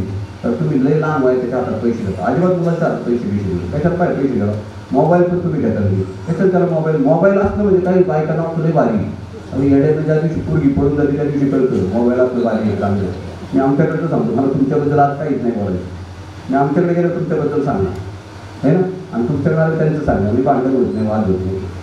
त्या सगळ्या सिस्टम मी तसं दहा हजार भाषणे केलं ना त्याच्यामुळे मला आता माहिती दिली काय सगळ्या सिस्टममध्ये त्या सगळ्या यंत्रणेचा अभ्यास करून पहिल्या दहा मिनिटामध्ये शेडगेट दुसऱ्या प्लॉटमध्ये दुधी दोडका कारली टोमॅटो काकडी वेलवर्गीय पिकं तिसऱ्या प्लॉटमध्ये कोबी फ्लावर गवार भेंडी बरी वांग काटेरी वांग. फळभाज्या आणि चौथ्या प्लॉटमध्ये पालक मेथी लाल माठ चवळी कांदा पात झाले सत्तावीस प्रकारच्या भाज्या. तुम्ही गृहिणी घ्या लागणार सत्तावीस प्रकार मी एक भाज्या आणि तुम्ही म्हणता बाकी पुढं दुकानात होऊन बसून मला वेळ आहे तेवढा. एक ते शनिवार सुट्टी दोघं नवरा बायको काम करतात. बरं आहे का? त्यांना बास्केट माझं घरी जाते म्हणजे माऊली तुझ्या मान मोकळं जातो. मुलांना वेळ देतो. पाहुणं रावळे येतात गावाकडे त्यांना वेळ देतो. आणि नवरा बायको जरा फिरायला पण जातो. आठवड्याभर भेटत नाही हो, नोकरीवाल्यांना त्या नोकरीवाल्या बायकांनी खूप काम असतं ते पाहिलं. कारण सगळं उरकून नवा सगळं तिकडे असतो ऑफिसला. त्याच्या आधी जुनं पाहिजे मग आमच्या शेतकऱ्यांचं बरं आहे. आमचं आम्ही एक जबाबदारी घेतो बायकोला ते काम असतं. ते सगळं आणि आमचं काम सकाळी सात वाजता सहा वाजता सुरू होतं. सहा ते साडेसहा आम्ही थोडंसं योग प्राणायाम करतो मेडिटेशन करतो. साडेसात ते साडेसात गाईची धार बीड शेण बीन गवऱ्या एवढ्या सगळं करतो. आणि साडेसात ते दहा शेतातलं काम करतो. माणसाची गरज नाही दहा नंतर तो मोकळा पुढे बोलवत नाही. कारण आपण साडे अकरा निघालो. साडे अकरापर्यंत दहा ते साडे अकरा स्वयंचा एक ऑनलाईन कार्यक्रम होता. तो केला आणि आलो तोपर्यंत फोन बंदच होता. मी लोकांना फोन आला तर मुलाला सांगितलं या नंबरवरती मेसेज टाकून ठेवा. मी लगेच बोलतो तुमच्यावर बरोबर एक शेड्यूल तुम्हाला फिक्स करावं लागेल. तुमच्या माहितीसाठी सांगतो आम्ही दीड लाख लोक सध्या पंचवीस वर्षात कसली औषधाची गोळी खाल्ली नाही अजून तर. किती खर्च वाचला बरोबर कदाचित म्हणून आम्ही श्रीमंत असतो खर्च वाचतोय म्हणून वाचवतो म्हणून. बरोबर दुसरं एक आम्ही दहा पित नाही मटण खात नाही. अजून काहीच करत नाही. म्हणजे मग पैसे खर्चच होतो कारण श्रीमंत काय लागतं मला सांगा? मी इन्फोसिस कंपनी जगातली सगळ्यात मोठी कंपनी माझ्यापासून अर्धा किलोमीटरवर आहे. माझ्या जमिनीचा आत्ताचा भाव दहा करोड रुपये एकर आहे. तिथं शेती करतो. तुमच्याकडे लाख रुपये होऊन आला तर काय वेळ? उड्या मारतो नुसतं. तू युवा नेता त्याला भेटतो. लय तुझं वर होतोय म्हणतो तू कामच होऊन जाईल मरते ते दोन एकर विकून निवडून येत नाही. शिवाय पावसाच्या जेवढं उभं करावे दुसरा कोणी नाही. ते घरातही वाढलं. आणि पैसे संपले. अशा घटना आपल्याकडे नाही राजकारण इतकं खासकारण आहे ना आपल्याकडे इतके प्रॉब्लेम्स आहेत त्याच्यामध्ये. आम्ही आमचं गाव तीस कोटीचं गाव आहे. तीस कोटीचा टर्न ओव्हर आम्ही तिथं राजकारणात जातो. त्यामुळे आमचं तुम्ही विश्लेषण नाही. त्यांना माहिती आहे स्पर्धक नाही ना आपलं. मग आम्ही सांगतो की बुवा आम्हाला पुनर्भरण करायचं लगेच पैसे मंजूर करायचे आम्ही सांगतो रोड द्या. लगेच त्याचा रोड. मी सरपंच जर रोड बनणार नाही तर मी सरपंच नाही म्हणून एका मिनिटात रोड बनतो. झालं ना का? स्पर्धक नाही ना आपण. म्हणून शेतकरी नको तिथं खालवायला जाऊ नका. आपली शेती करा. अन्नदाते आहोत आपण त्यावेळेला तिथं? सरपंच व्हायला सदस्य व्हायला चोरमन व्हायला. चोरमनचा चेअरमन काय? ते व्हायला. कशाला नाटक करायला जायचं आपण त्या सगळ्यांची काही गरज नाही मला. मला त्या पदाचीच गरज नाही. मला एकच पद आहे अन्नदाता. अन्नदाता म्हणजे देव तुम्हाला पद दिलंय ना ऑलरेडी अन्नदाता म्हणजे लोकांना खायला घाल. एवढं मोठं पद असताना फालतू पद घ्यायचं तुम्ही. काही झालं? ते व्हिजिटिंग कार्ड पुराणा पुरवणी लावली. जोडे दिले पद लिहायला. आणि काही कुत्र विचारित नाही त्या पदावर? म्हणजे बऱ्याच जणांची व्हिजिटिंग कार्ड बसले त्यालाच कोणी विचारित नाही त्याची सोळा पद आहे आणि पुरवणी जोडली त्याने आता व्हिजिटिंग कार्ड लावली पदासाठी. ही सगळी पद लिहिलं डोक्याची काढून टाका असं काही नसतं. आपलं पद आहे ना आम्ही सगळेजण तुम्हाला खायला घालण्यासाठी जन्माला आलो खायलाच घालत राहणार आणि तुम्ही जे पैसे देता त्याच्यावर माझं कुटुंब चालणार मला गरज काय त्याची? बरोबर ना? ग्राहकांनी. म्हणून या सगळ्या प्रकारच्या भाज्या साधारण तीस किलो भाजी रोज तीस गुंठ्यात.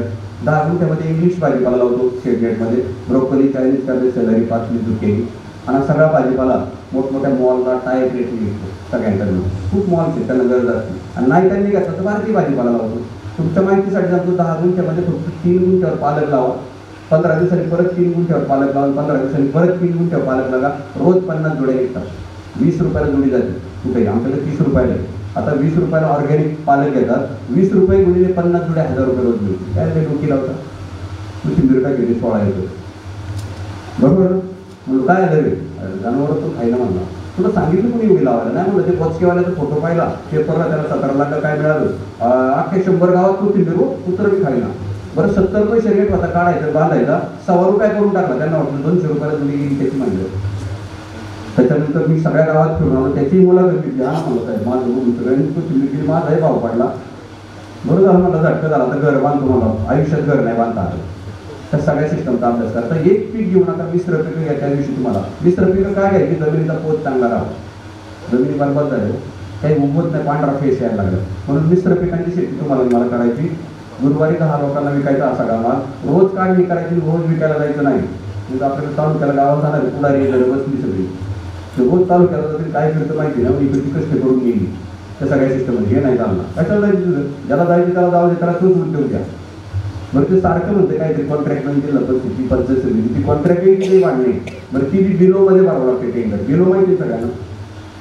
तिथे काय आता प्रॉफिट राहील नाही. सगळ्या गोष्टीचा अभ्यास करावा लागेल. शेती एकमेव व्यवसाय आहे. जगातली माणसं जिवंत आहे तोपर्यंत चालणार आहे काय घ्यायला मरण? मला सांगा ना. बरं माणसं जेव्हा नसतील जगाची तेव्हा मी नसणार आहे म्हणजे तोपर्यंत काय बंदी नाही बंदी नाही का? किती सुंदर व्यवसाय मला सांगा. फक्त टेक्नॉलॉजीचा वापर करतात माणसं आहे ना पॉवर टिलर माझा मुलगा पण पॉवर टिलर बनवतो. मोठ्या मोठ्या कंपनीचा लाख रुपयाचा पॉवर टिलर आम्ही पंचेचाळीस हजारात बनवतो. आणि हा पॉवर टिलर दिल्यानंतर तीस हजार रुपये गाडी वाफे पी वी आर लोक घेतात. आम्हाला फक्त पाचशे रुपयाचं पेट्रोल लागतं पाचशे रुपयाचा माणूस म्हणजे तुमच्या पॉवर टिलर हजार रुपयाचे तीस हजाराचं काम करतो. तीनदा वेळ बांधला तर नव्वद हजार खर्च होता. तीन हजारात काम करायला लागतो. वाचले ना पैसे? वाचवणं म्हणजे प्रॉफिट आहे. दरवर्षी एका एकरातून तीन लाख वाचवतो. तीन लाखात माझं शेतकऱ्याच्या कुटुंबाची तीन सुंदर जगतो बरं तरी मला काही दारू लागत नाही काही लागत नाही म्हणजे पैसे शिल्लकच राहणार ना. आणि इतकं आनंदात कुटुंब आहे सध्या. आमच्याकडे सध्या एक पाच सहा कुत्री असतील तेरा मांजरं आहेत सात आठ गायी आहेत मोठा परिवार आहे आमचा एक पन्नास एक लोकांचा शेती आहे तीस गुंठे. शेती आहे तीस गुंठे. ताईने मला सांगितलं की दोन एकर आहे बरं का? लय पैसेच कमवते ना मेल्या नाही वर नाही कोणी आहे पैसे शिल्लक आहे, कपड्याला बांधून गेला वरती असं झालं होतं करायचं काय पैशाचे? उलट तुम्ही गेल्यावर पैसे वाचून वाटले तलवारी कुठे गेले वाटा आधी म्हणलं तुझ्याकडे बघतो इतकेच कमवा पैसे पुढच्या पिढीला पण काम करायला फुकट कुणाला पैसे देऊ नका. आणि भाड्याने खाणारा अजिबात निर्माण करू नका. भाड्याने खाणारा काहीतरी शिवी आहे ना. है ना? मला काय बोलायचं नाही त्याच्याबद्दल. पण भाड्याने खाणारा जन्माला आला होता मी काम केले माझ्या मुलांनी काम केलं पाहिजे. मी त्याच्यासाठी इंडस्ट्री उभी केली. मी कर्ज घेतलं होतं परत साहेब कधी कर्ज घ्यावं लागलं नाही. कारण आम्ही दहा लाख रुपये डिपॉझिट ठेवले. त्याला लागलं पाच लाख त्याच्यावर डिपॉझिट होतो एका तासात कर्ज मिळेल. काही एक टक्का जास्त होतं बँका. बँकाही चालल्या पाहिजे. कारण बँकांना जे आपण कर्ज पैसे कोण देणार? चालल्या पाहिजे. आपण बुडवल्या बँका. जिल्हा बँकेमध्ये तर फार प्रॉब्लेम होतो त्या सगळ्या सिस्टममध्ये आपल्याला प्रॉब्लेममधून बाहेर पडायचं त्या सगळ्या यंत्रणेमधून आणि आपल्या स्वतःची बँक करता येईल तो विचार करून या पद्धतीची शेती करायची हा सगळा शेतमाल विकायला महिला बचत गटांना लावायचो. सगळा शेतमाल तुम्ही विकणार आहे का? बरोबर ना? बरं विकायचं तुम्ही शेती पण तुम्ही करायची एवढं होईल का? मग विकायला महिला बचत गट तुम्ही सगळ्या बायका. मस्त गोड बोलायचं. आपण पैसे तुमच्याकडे आले विषय संपला ना? आज वेगळी गुरगुर येईल का पिऊन? अजिबात. आणि पिऊन आलं तर बाहेर झोपव त्याला. कुत्र्याचा कुत्र्याला त्याला पोतं टाकायचं शेजारी. त्याच्याकडे तो कमी होती तुम्ही लाड करता म्हणून पेताडं वाढले. आणि आता मुलंही पे पेताडमध्ये आपल्या देशाला कलंक हा सत्याहत्तर टक्के शेतकरी दारोडे आहेत म्हणून देशाचं वाटतात राज्याचे. तिथं जाईल ना तिथं मी प्रॉब्लेम बघतो तो दारोडेचाच असतो. चांगल्या माणसाचा प्रॉब्लेम मला बघायला मिळाला मला हे दुर्दैव आपल्या देशात. तुम्हाला दारू प्यायची दारूची एकच चव असते ना मी तुम्हाला सतरा प्रकारचे सूप शिकवतो. सतरा चवी देतो तुम्हाला. सूप माहिती सगळ्यांना? भाजीचं सूप सलरीचं सूप पाचवीचं सूप या आवळ्याचं सूप मी कशाचंही सूप करेन आणि लोकांना प्यायला देईल पण दारू नको. ह्या सगळ्या सिस्टमचा अभ्यास करून आपल्याला शेती करायची. म्हणून तुम्ही रणरागिणी जे आहेत ना विक्रीमध्ये आले पाहिजे. दादा नको इतके सुंदर पैसे कमा तुम्ही अनेकांची घरच सुंदर बसवणार आहे दलालांनी घरं बसवली तुम्ही ती बाहेर काढणार आहे म्हणून तुम्ही रणरागिणी विकायचा व्यवसाय करा. जे ज्यांना ज्यांना कृषीभूषण पुरस्कार मिळणार त्या सगळ्यांच्या बायकांनी विक्रीचं सुरू करायचं. एक हजार स्क्वेअर फुटाचं पॅक हाऊस करायचं. आजूबाजूच्या शेतकऱ्यांचा शेतमाल विकत घ्यायचा आणि आपण विकायचा. नाही तर मी विकायला गेलो एक ठिकाणी. आणि एक जण मला म्हणलं मला जे विकरा मी त्याला ग्राहक देऊन टाकली माझी भाजी होती चाळीस रुपये किलो यांनी वीस रुपयाने विकायला सुरुवात केली. त्याला म्हणलो पस्तावलेला पत्ता देऊ. मी म्हणलो काय रे पस्ता विकली मला तू तीनशे किलो विकत होता मी तीन टन घेऊन गेलो म्हणलं. मग तिथे गेली एवढी गरजच नव्हती मला मग मी लोकांना म्हणतो दोन किलो दोन किलो फ्री घेऊन टाका. याला का निम्मा रे इतकी नाला येतो अरे पिकवायची लय पिकवायची सवय लावली ना. बरोबर ना? ज्या दिवशी लय पिकलं त्या दिवशी रेट पडतात. ज्या दिवशी शॉर्टेज करायला त्या दिवशी रेट वाढते. गेलो काय ठेवा. अभिनव एकमेव ग्रुप आहे देशामध्ये. आम्ही शॉर्टेज करतो म्हणून आम्हाला रेट आहे. बाकी कोणालाच भारतात रेट नाही मिळालं हे घेऊन घ्या त्या सगळ्या सिस्टम कशाला जास्त पिकवता? कुणी सांगितलं तुम्हाला? पिकवून फक्त रासायनिक कंपन्यांचा खतांचा धंदा होतो. तुमचा कधी धंदा होत नाही. ज्या दिवशी जास्त पिकतं त्या दिवशी टोमॅटो रस्त्यावर दिसतात. कारण टोमॅटोला खर्च आठ रुपये आणि पन्नास पैसे किलो टोमॅटो विकली जातात. याच्यावर तुम्हाला कळलं पाहिजे. की तुमच्या चुका आहेत सगळ्या. बरं पीक जास्त पिकवायला जास्त खर्चही करावा लागतो. आम्ही कमी कम कमी खर्च करतोय आणि कमी पीक कमतो तेव्हा रेट वाढतोय. आत्ता तुम्ही बघा मी भाजी विकतो वीस रुपयाने बाजार समिती तीच भाजी हातगाडीवाला घेऊन यांना विकतो वीस रुपये पाव. पण त्या हातगाडीवाला घाण त्याच्यावर पाणी ते बगलत खाली ते त्या पद्धतीने तुम्हाला काकडी दाखवते. पन्नास वेळा का आली होती त्यांनी तुम्हाला दोडका दाखवतो. भैया मी फ्री दो तो फ्री दो आहेत काय फ्री देतो तुम्हाला मरायचे लोक खाऊ. सगळं विष खाल्लं जाते आपल्या देशामध्ये आता. त्याच्याऐवजी तुम्ही सगळ्या बचत गटाच्या बायका ॲप्रन घालणार टोपी घालणार हातात ग्लोव्ह घालून बास्केट द्यायला जाणार. तुम्ही म्हणून बार्गेनिंग तरी करू का? ही विक्रीची पद्धती तर पेरूला बघा. मला वाटतं थाई तैवानचा आहे का? मी येणार का? बरोबर बरोबर. किती सुंदर पद्धतीने त्याला सजवलंय. ह्या सगळ्या गोष्टींची तुम्हाला मला गरज आहे. साध्या साध्या पद्धती की त्याला नुसती चड्डी घातली ना दहा रुपये वाढणार आहे. इतकं मोठा फरक आहे चड्डी किती? एक रुपयाची नाही. सत्तर पैशाची. आणि दहा रुपये वाढणार आहे. ती बुद्धी लागते हो. म्हणून यांना पुरस्कार आहेत कुणाला हे पुरस्कार मिळत त्याचं कारण तुमची निवड पण तशी त्या सगळ्या सिस्टमची मित्रांनो खूप छान पद्धतीने आपल्याला या प्रकारची शेती करावी थोडी शेती करू आपण. विक्रीचं काम महिला बचत गटाला द्यायचं सध्या दहा रुपयाचं खर्च आपल्याला वीस रुपये देतो शेतकऱ्याला त्याचा विषय संपून जातो. वीस रुपयाची भाजी महिला बचत गट घेतात ती स्वच्छ करतात ग्रेडिंग करतात आणि चाळीस रुपये विकतात. राहिलेले वीस रुपये त्यांना मिळतात त्याच्यामध्ये काय हाऊसवाल्याला पैसे टेम्पोवाल्याला पैसे आणि दहा वीस बचत गटाच्या बायका आमच्याकडे पाच सात आठ बाई येतील. साधारणपणे पाचशे ते हजार रुपये मिळतात. बायकांच्या गाड्या झाल्या दादा आता सगळ्या बायकांच्या त्या मारुतीच्या इको आहे. त्यामध्ये काय टेम्पो काढायचं आमच्या गाडीत घ्या वीस क्रेट बसतात. एक क्रेट बाराशे रुपयाला जातो. बाराशे गुणिले वीस चोवीस हजार रुपयाचा बिझनेस त्याच्यात त्यांचं तीस टक्के प्रॉफिट आहे. साडेसात हजार रुपयाचं प्रॉफिट बरोबर ना? तिथं मॉल टाकला या काही म्हणून मॉलला खर्च किती? हा ना माऊली मला लाख रुपयाचं नुसतं भाडे आणि त्यांचा बाराशे आहे दिवसाला. आणि चार तिथे टायवाले गाडी टायवाले बसून चाळीस हजार पगाराचे कामाला गिरायक संपले. सगळ्या मॉलमध्ये मी भाज्याचं काउंटर चालवलं आहे वीस वर्षापूर्वी. जेव्हा मॉल आले तेव्हा. सगळे मॉल बंद आहेत भाज्यांचे भाज्या कुठे विकल्या जात नाही. का? बायकांनी हात लावून लावून चाळीस टक्के माल खराब होतो त्या नुकसान मॉल मॉलमध्ये. लोक म्हणजे आपण मॉल टाकले. मला एक तरी मॉल दाखवा ना चाललेला तेवढ्या वर्षात. कशाला मॉल बिल टाका बायकांना अजिबात दुकानं घ्यायची नाही भाज्याची आपल्या गाडीमध्ये गुरुवारी माल भरायचा सोसायटीत जायचं बास्केट द्यायचं एका मिनिटात देऊ द्यायचं. झालं का? संध्याकाळी सातला तर घरी आपण. सातच्या घरात पाहिजे ना पुरुषाला. मला ग्लास दिला पाहिजे पाण्याचा. नाही तर तो घाबरतो मला ग्लास नाही दिला आम्ही हाताने घेतो. बरोबर चार राष्ट्रपतीचे पुरस्कार आहे दोनशे अठ्ठ्याऐंशी पुरस्कार आहे. तरी घरी गेलं पाणी कारण ती बी काम करते मी बी काम करतोय. बरोबर पुरस्कार काय? असं वेगळं लागणार आहे आपल्याला. जबाबदारी वगैरे वाटते. पण सकाळी सहा ते रात्री अकरा वाजेपर्यंत काम चालू असतं. घडतच नाही दिवस तरी संपला. मला आज तारीखही लक्षात होती की महाराष्ट्राची मंडळी एक म्हणून कळलं. त्याच्या तारखेवर पण लक्ष नसतं इतकं शेतकरी काम करतो. करता काय नाही तुम्ही सगळं? बरोबर ना? की आपली ताकद फक्त आता विक्रीमध्ये आली. मला एवढंच तुम्हाला या निमित्ताने सांगायचं यांचा एक मेचा पुरस्कार कायम लक्षात राहील तुमच्या. कारण विक्री सुरू केली आणि आम्ही धनदानगे झालो. आमच्या घरात लक्ष्मी आल्या. एक लक्ष्मी आहे की पहिली? बरोबर ना? पण त्या लक्ष्मीची पिशवी रिकामी ना. लक्ष्मी कधी भरलेली पिशवी असली तर ना? आता पिशवीमध्ये फरक झालेला पिशवी राहिल्या नाही. स्टँडर्ड आहे जर आपल्याला. जास्त शिकल्यामुळं थोडंसं ती सिस्टम नवऱ्याला आता बोलून देत नाही बायकांनी. बांधलेली वेळ जातो तुम्ही बोललो अरे तू थांब. काय म्हणलं तिच्या वेगळे बडबड करते तीच मला आणि म्हणला. मी काय तिला आणतो मला सिस्टम बदलली. आमच्याकडे सगळं आय टी बी टी आहे. इतक्या बायका म्हणजे तुमचं म्हणा इतक्या बायका चांगलं आहे? ती गप्प बिचारी ती बोलत राहते दुर्दैव येतं सगळ्यासाठी मग ते कायदे तुमच्या बाजूने असलेच पाहिजे की निराधार आहे म्हणतात काय की निराधार? पुरुष निराधार झाला आहे तर सगळ्या सिस्टमचा आपण सगळेजण अभ्यास करू. बायकांना नक्कीच स्वायत्ता पाहिजे. पण तुमच्यासारख्या बायकांना. स्वायत्ता तुम्ही जर बाहेर पाहिजे खूप प्रॉब्लेम्स आहेत या सगळ्या यंत्रणेमध्ये. तर हे सगळे प्रॉब्लेम्स मित्रांनो सॉल्व्ह करून अतिशय सुंदर पद्धतीने गुन्ह्या गोविंदाने आपल्याला शेती करायची. कारण शेती माणसं लागतात आणि सकाळी संध्याकाळी दोन वेळा शेती करा दुपारी आराम करा जरा. जेवढं थकताना तेवढा आराम पण करायला शिका. म्हणजे शुगर बीपी येणार नाही. पहिल्या शेतकऱ्याला शुगर बीपी येऊ? काय खातं काय पचूचं मला कळत नाही. बरोबर इतकं सुंदर खातं आपण. आम्ही यांना सांगतो की आम्हाला आजार नाही. आणि माझ्या शेतकऱ्याला आजार ते तर नाव ना.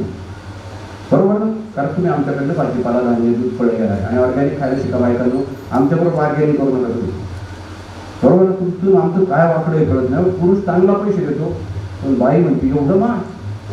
त्याला काय महाग झालं? तुम्ही ती मॅगी घेता बावीसशे रुपये किलो. मी लाज वाटते पाहिजे त्यामध्ये पॉईंट बरोबर ना? आणि बावीस रुपयाच्या भाजीला तुम्ही आमच्याबरोबर बार्गेनिंग करता मला सांगा. देशातला शेतकरी श्रीमंत होईल का? किती कार्यक्रम घ्या तुम्ही बायकांनी? शेतकरी श्रीमंत जोपर्यंत तुम्ही करीत नाही तोपर्यंत तुमच्या कार्यक्रमाला काय अर्थ नाही? कुणाच्याच कार्यक्रमाला अर्थ नाही. म्हणून आमच्याबरोबर फक्त घासाघीस नका करू. घ्या ना पैसे दोन रुपये. काय होईल? मग खायलाच नाही गेलं काय खातं ना सोनं नवीन करून त्या जुन्या नोटा येतं त्याच्या बंडलची मिसळ करून खाता येईल का? खाऊन दाखवा मला फक्त. ज्या दिवशी फक्त आम्ही थांब. महिनाभर आपण निवांत राहू आपल्या फक्त पिकवायचं पाहिजे काय? होईल ना? आपण मग पैसे राहू का? होऊ शकत नाही आता आंब्याचा विषय झाली चालू. पार तयाऱ्यापासून पार पाण्यापासून काही बी करू आपण. बरोबर ना? त्या पेरूचे इतके पदार्थ पार जाम जेरी पण तुम्ही बनवताय. आवळ्याचे इतके पदार्थ बनवताय. तुम्हाला मला काही दिवस पाहिजे येणार नाही. त्याच्यामुळं तुम्ही बायकांनी आमच्याकडून घेताना अजिबात बार्गेनिंग करू नका. म्हणून तुम्ही विक्रीचं काम जर केलं तर आम्हाला भांडायला तुमच्याकडून काही गरज नाही. आणि विक्रीमध्ये महिलांनी आलं पाहिजे. महिलांचं बोलणं चांगलं तुम्ही रेसिपी सांगता. त्यामुळे समोरच्याला कशी भाजी बनवायची ते कळतं आता रेसिपीसाठी मी तुम्हाला सांगतो. रेसिपी हा जो प्रकार आहे ना त्याच्या आधी आता मेडिसिनल व्हॅल्यू सांगायचं. अजून पुढे जाऊ आपण. एकविसाव्या शतकात माहिती सगळ्यांना. गाठ रावे. हे बी शेतकऱ्याला कळालं अजून नाही का आपल्या आपण एकविसाव्या शतकात आहोत. काळाप्रमाणे भाजीची न्यूट्रिशन व्हॅल्यू सांगायची. या भाजी खाल्ली कॅल्शियमची गोळीची गरज नाही. ही भाजी खाल्ली तर प्लेटलेट्स वाढतात. हे सांगायला आम्ही सुरुवात केली. पुढच्या दोन वर्षात आम्ही नऊ एकमेव ग्रुप देशामध्ये भाजीपाला भाजीपाला म्हणून विकणारच नाही औषध म्हणून विकणार. देतील का नाही पैसे? हां? डॉक्टरना देतात नाही? हात लावला की हजार. त्याला मी किती हात लावतो मला काय आजार नाही काही नाही. हो? बरोबर ना? म्हणून आम्ही आता डॉक्टरच व्हायचा प्रयत्न करतो सगळ्या आहार तज्ञांबरोबर एकत्र बसून सगळ्या लोकांना विषमुक्त अन्न खायला देता येईल का छान पद्धतीचं त्या पद्धतीचं काम आपण एकत्र येऊन करू. अतिशय सुंदर अशा कार्यक्रमाचं त्यांनी आयोजन केलंय. तुम्ही महिला इतकं सुंदर कार्यक्रम घेता. जी जी लोक आहेत दानशूर मंडळींना अशा संस्थांना आपल्याला चांगली मदत करायची. म्हणजे यांना हुरूप येईल कारण दीड दोन महिने इतकं कष्ट घेत असतील या. यांनाच पाहिजे हो. रात्री बाराला पण मेसेज यायचा. की अशी अशी पत्रिका आहे अशा अशा भागातून लोक येणार आहे याला म्हणजे बाराला उभे याचं होतात का नाही. बरोबर ना? हे सगळं कोणासाठी? तर माझा शेतकरी हा राजा बनला पाहिजे कसं किती सुंदर आहे मग आपण सगळ्यांनी वंशासाठी काय वाजू आपल्यासाठी काय वाजलेलं आहे आणि खूप छान पद्धतीने या लोकांनी असेच कार्यक्रम करत राहावा. जी जी बी सी एस सारखी ही मंडळी आहेत तालुका कृषी अधिकारी साहेब आहेत दुमाळ साहेब आहेत ही सगळी लोक त्या सगळ्या सिस्टमला मदत करतील आणि सिस्टम आपल्यासाठी काम करत. फक्त एक ब्रांच तुम्ही पॅक पॅक हाऊसची काढून शेतमाल कराडमध्ये विकायला सुरुवात करायची. एवढंच मला या निमित्ताने सांगायचं आहे तुम्ही सगळे सोळा पुरस्कारची सोळा सतरा जे काय असतील तुमचं सगळ्यांचं मनापासून अभिनंदन करतो. आणि आपण खूप चांगलं काम करून आपल्या राज्याला एक वेगळी दिशा द्यायचं काम करू. राजकारणात काय चाललं तुम्ही बघताय पळवा पडली पण आपल्यात खूप छान पद्धतीने आपण काम करू आणि यांनाही जागेवर बसवायचं काम आपल्याला या निमित्ताने करता येईल. एवढंच मला सांगायचं आहे आणि खूप चांगलं आयोजन केलं मला बोलण्याची संधी दिली त्याबद्दल तुमचं सगळं आस्था संस्थेचं व्यासपीठावरचं सर्वांचं आभार मानतो. आणि तुम्ही सगळ्यांनी ऐकून घेतलंय. तुमचे आभार मानतो आणि थांबतो. जय हिंद जय महाराष्ट्र.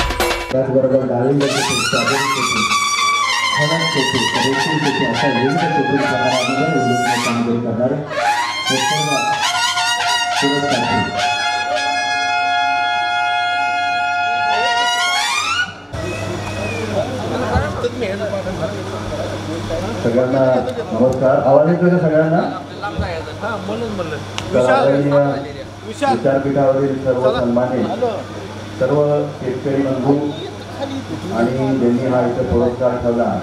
त्या पिसा मॅडम एका चव्हाणांच्या कर्मभूमीतून दुसऱ्या चव्हाणांच्या कर्मभूमीत आज सत्कार होतो याचा खूप मनापासून मला आनंद आहे. कारण कराड ही यशवंतराव चव्हाण साहेबांची कर्मभूमी आणि नांदेड ही शंकरराव चव्हाण साहेबांची कर्मभूमी. तर हा दुसऱ्या एका चव्हाणाचा या ठिकाणी चर्चा होते त्याबद्दल मी किसान मॅडमचा खूप मनापासून आभार मानतो. एके ठिकाणी मी वाचलं होतं की हैरान हूँ परेशान हूँ दर घर की ठोकर खाकर चट्टान की तरह खड़ा हूँ। हालातों से जो ना घबराए मैं वो इंसान हूँ। ते परभणी तीन जिल्हे आहेत मराठवाड्यातले. तर या तीन जिल्ह्यामध्ये जवळपास पाच लाख एकरमध्ये हळदीची लागवड होते. आणि सांगलीत पण तसं हळदीचं मोठं मार्केट आहे. पण एक त्याच्यामध्ये एक नवीन्य करण्यासाठी आम्ही आपल्या सगळ्यांना माहिती आहे की आपण लग्नाच्या आधी हळद लावतो. लावतो की नाही सगळे? का लावतो? तर हळद लावल्यामुळं चेहऱ्याला चांगला ग्लो येतो म्हणून हळद लावतो. तर म्हणून त्याच्यासाठी आम्ही एक मी म्हटलं आपण याच्यामध्ये काहीतरी वेगळं करूया. तर मी पुण्यामध्ये तिरंगूटमध्ये एक हळदीपासून आम्ही कॉस्मेटिक मी तिथं सेंटर सुरू केलं आहे की जे तिथं आम्ही साबण हळदीपासून होणारे मॉइश्चरायझर्स आणि आता आम्ही लिपस्टिक हे आम्ही सगळं तिथे तयार करतो आणि हे सगळं हंड्रेड पर्सेंट एक्सपोर्ट होतं. कारण हे त्याच्यामध्ये काही केमिकल नाही. जसं सर म्हणत होते धुमाळकर की आपल्याला व्हॅल्युएशनमध्ये पैसे मिळतात. हळद ही साधारणतः साठ ते सत्तर रुपये किलोने विकली जाते. पण आम्ही जे साबण बनवतो त्याच्यामध्ये काही केमिकल नाही आहे तर एक साबण जे शंभर ग्रॅमचं आहे ते आम्ही मार्केटमध्ये दीडशे रुपयाला विकतो. म्हणजे हळद आपण साठ ते सत्तर रुपये किलोनी विकतो. आणि त्याच्यामध्ये नॅनोग्रॅममध्ये आपण हळद वापरतो असे साबण असेल मॉइश्चरायझर असेल फेस वॉश असतील आणि आता आम्ही लिपस्टिक पण तयार करतो की त्याच्यामध्ये काही केमिकल नाही आहेत आणि हे आंतरराष्ट्रीय बाजारमध्ये विकलं जातं.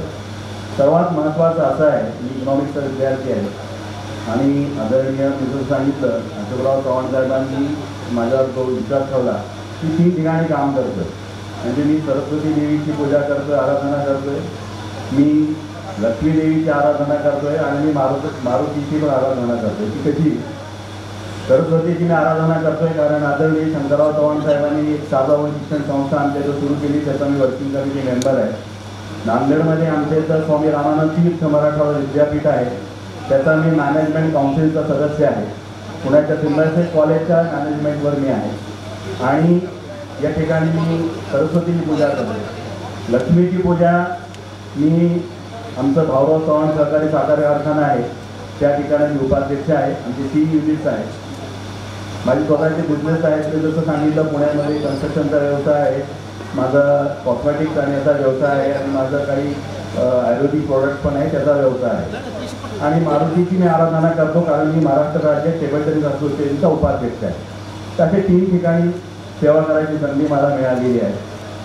आणि जसं सर सांगत होते आज भारतामध्ये सर्वात मोठा जर प्रश्न शेतकऱ्यांचा काय असेल तर देशामध्ये आजही पासष्ट टक्के जे लोक आहेत ती शेतीवर अवलंबून आहेत. पण देशाच्या उत्पन्नामध्ये शेतीचा वाटा हा फक्त अठरा टक्के आहे. आणि तो जर आपल्याला वाढवायचा असेल तर मला असं वाटतं येणाऱ्या काळामध्ये युवक जो आहे जो युथ आहे तो शेतीमध्ये काम करायला शेती तयारी नाही आहे म्हणजे आम- इथं कराडमध्ये मला माहीत नाही पण आमच्या इथं मराठवाड्यामध्ये शेतकऱ्यांच्या मुलाला कोणी मुली पण द्यायला तयार नाही. अशी अवस्था शेतकऱ्यांची आहे. तर हे जर बदलायचं असेल तर मला असं वाटतं की शेतकऱ्यांना व्हॅल्युएशन करणं खूप गरजेचं आहे. आणि त्याच्यासाठी आज इतके छान या ठिकाणी लोकांनी आपलं आपले जे काही शेतामध्ये पिकवलेले फळं त्यांनी आणले. पण त्याच्यामध्ये जर आपण व्हॅल्युएशन केलं तरच आपल्याला येणाऱ्या काळामध्ये चांगले पैकी शेती शेतीत मिळू शकतात. जसं ते भाजीपाल्याचं काम करतायत. पण मला असं वाटतं की युवकांना जर शेतीमध्ये यायचं असेल तर सर्वात आधी आता बँकेचं साहेब आता गेले ते सांगत होते. पण आपल्याला तुम्हाला सगळ्यांना माहिती असेल की आपल्या देशामध्ये कार लोन जर घ्यायचं असेल तर साठ टक्क्यांनी कर्ज मिळतं कार लोन पण शेतकऱ्याला जर कर्ज घ्यायचं असेल तर ती कधीही त्याला अकरा बारा टक्क्याच्या खाली मिळत नाही. मग अशी जर अवस्था शेतकऱ्यांची असेल तुम्ही शेतकरी म्हणा आपण म्हणतो की खूप शेतकऱ्यांना कर्ज मिळतं. कुठली बँक उभी करते हो शेतकऱ्यांना त्याला शंभर ठिकाणी हमी द्यावी लागते तर त्याला कर्ज मिळतं त्याला बँक मॅनेजर लोक पण करत नाही. आणि म्हणून आपल्या देशामध्ये जर आज कारण तुम्ही बघा आपलं आज म्हणतो की आमचा देश हा युवकांचा देश आहे. आजही सर्वात जास्त युवक आमच्या देशात आहे. पण येणाऱ्या काळात हा खूप मोठा प्रश्न भारतापुढे उभा राहणार आहे. कारण या युवकांच्या हाताला जर काम नसेल तर हे युवक एक टाईम बॉम्ब आहेत आणि कुठे फुटू शकतात? आणि मला असं वाटतं शेती हा असाच एक व्यवसाय आहे की जिथे आपण युवकांच्या हाताला काम देऊ शकतो. पण त्याच्यासाठी आता पश्चिम महाराष्ट्रामध्ये तुमच्याकडे बँकेचे चेंज खूप मोठ्या प्रमाणात आहे पण त्याचप्रमाणे जोडधंदा आहे. तर तो जोडधंदा जोपर्यंत शेतकरी करत नाही तोपर्यंत मला असं वाटतं शेतकऱ्याच्या हाताला काही जाणार नाही.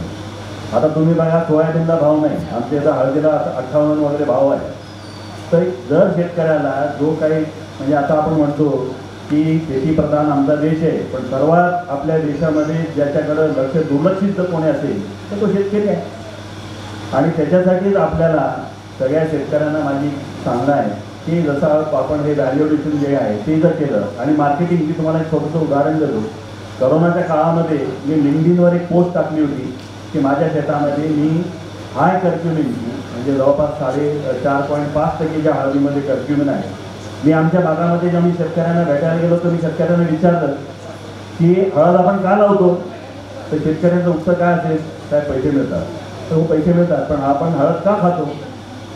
नव्वद टक्के शेतकऱ्यांना माहीत नव्हतं की आपण हळद का खातो. आपले पूर्वज जे हळद जे पूर्वीपासून आपल्या अन्नामध्ये हळद आहे ते हळद आपण का खातो? तर हळद ही अँटीबायोटिक आहे अँटीसेप्टिक आहे आणि अँटी इन्फ्लेमेटरी आहे.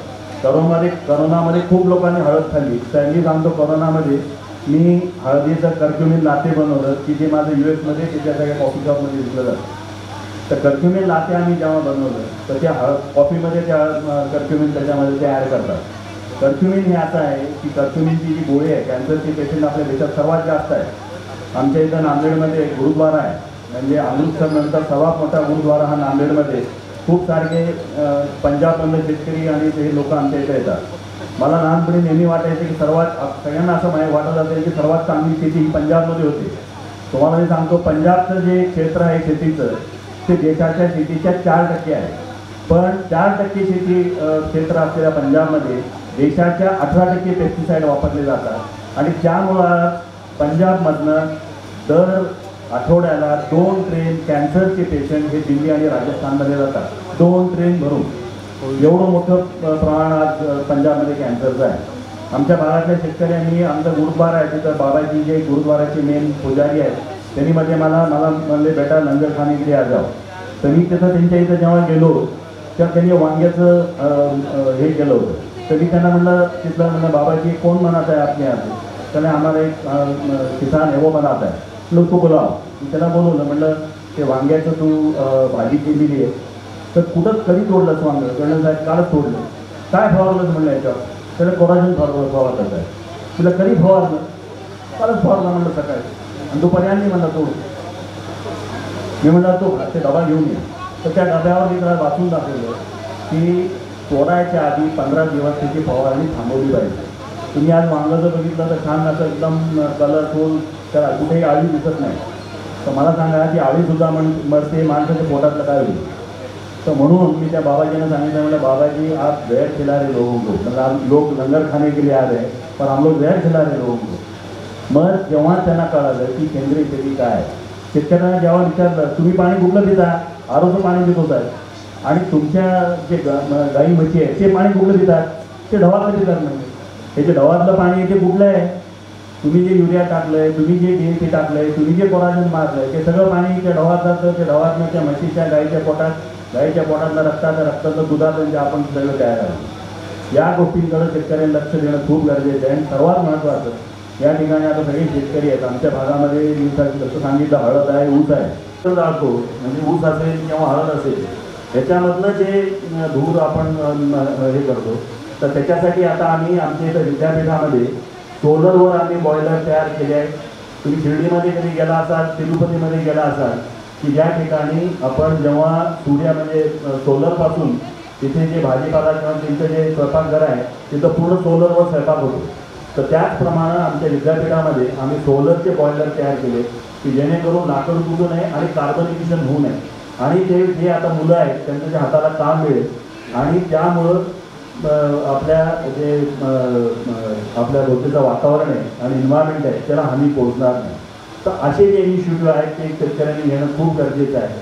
आणि मी परत एकदा सांगतो की आपल्या देशात सर्वात जास्त काम देणारं जर कुठलं काही साधन असेल तर ते फक्त शेती आहे.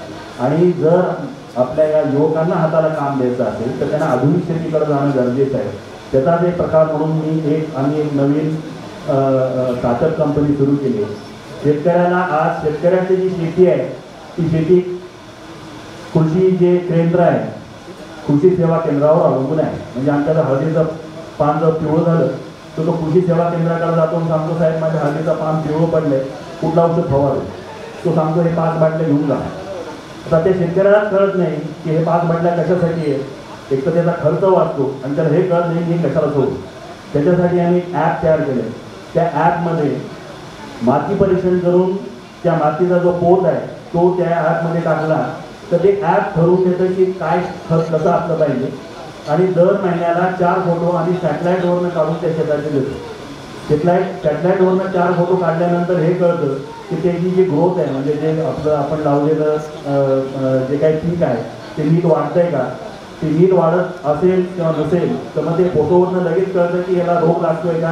त्याला काय आजार होतोय का? आणि तो आधीच आपण कंट्रोल करू शकतो. यामुळे शेतकऱ्यांचे आम्ही एकरी साधारणतः वीस ते पंचवीस हजार रुपये त्याची जी खर्च आहे तो आम्ही वाचवलेला आहे. आणि शेतकऱ्याचं उत्पन्न जी शेतकऱ्यांना आम्ही वाढवलेलं आहे. तर ही टेक्नॉलॉजी जी आहे ही वापरणं अतिशय आता ही काळाची गरज आहे. जे शेतकरी ही टेक्नॉलॉजी वापरतील आणि टेक्नॉलॉजीचा उपयोग करतील एक तर त्यांचा खर्च कमी होईल आणि त्यांचं उत्पन्न वाढेल. मी परत एकदा जे इथले आयोजक आहेत त्यांचं मी मनापासून आभार मानतो. आणि एक गोष्ट सांगतो की शेतकऱ्यांना जर आपल्याला या देशामध्ये जर टिकवायचं असेल आपल्या देशामध्ये आजही भाजीपाला रस्त्यावर विकला जातो आणि बूट हे एसीमध्ये विकले जातात. जोपर्यंत शेतकऱ्यांना सन्मान मिळणार नाही शेतकऱ्याच्या मालाला जोपर्यंत भाव मिळणार नाही तोपर्यंत मला वाटत नाही की आपल्या देशाची प्रगती नीट होऊ शकते. आपण सगळे आलात माझे दोन शब्द ऐकून घेतले माझा सत्कार केला. त्याबद्दल मी आस्था संस्थेचा किसान मॅडमचा आणि संपूर्ण या लोकांचा मनापासून आभार मानतो. माझे दोन शब्द संपवतो. जय हिंद जय महाराज उपस्थित मान्य उपस्थित पुरस्कार करते आणि सर्व पाहिजे आमच्या एका सरकारला मान देऊन तुम्ही सकाळी आला आमचा हा सोहळा अ, खऱ्या अर्थानं संपूर्ण केला. त्या सगळ्यासाठी मी सगळ्यांचे आभार मानतो. तसेच अ, सूत्रसंचालन ज्यांनी अगदी व्यवस्थितरित्या केलं आहे पत्रकार आहेत आपल्या इथून त्यांचे सगळ्यांचे मी आभार मानतो. वेणुताई चव्हाण अ, सभागृह कार्यालयाचे पण आभार मानतो. म्हणजे तसंच सरांनी खूप मौलिक मार्गदर्शन चव्हाण सरांनी जे केलं आहे. सगळ्या शेतकऱ्यांचे जे इथं आहेत त्यांच्याही सगळ्यांचे मी आभार म्हणते शेवटी दोनच शब्द बोलतो. आपल्या माणसांचे आभार आपणच नसतात मानायचे. आपल्या माणसांचे आभार आपणच नसतात मानायचे. दिवाळीचे भावबंद असतात जपायचे. दिवाळीचे भावबंद फक्त असतात जपायचे. अशा त्या पोळ्यामधून जपायचे असतात माती. अशा त्या पोळ्यामधून जपायचे असतात माती आणि हृदयात साठवायचे असतात फक्त चांगल्या आठवणीचे मोती. आणि हृदयात साठवायचे असतात फक्त चांगल्या आठवणीचे मोती. धन्यवाद.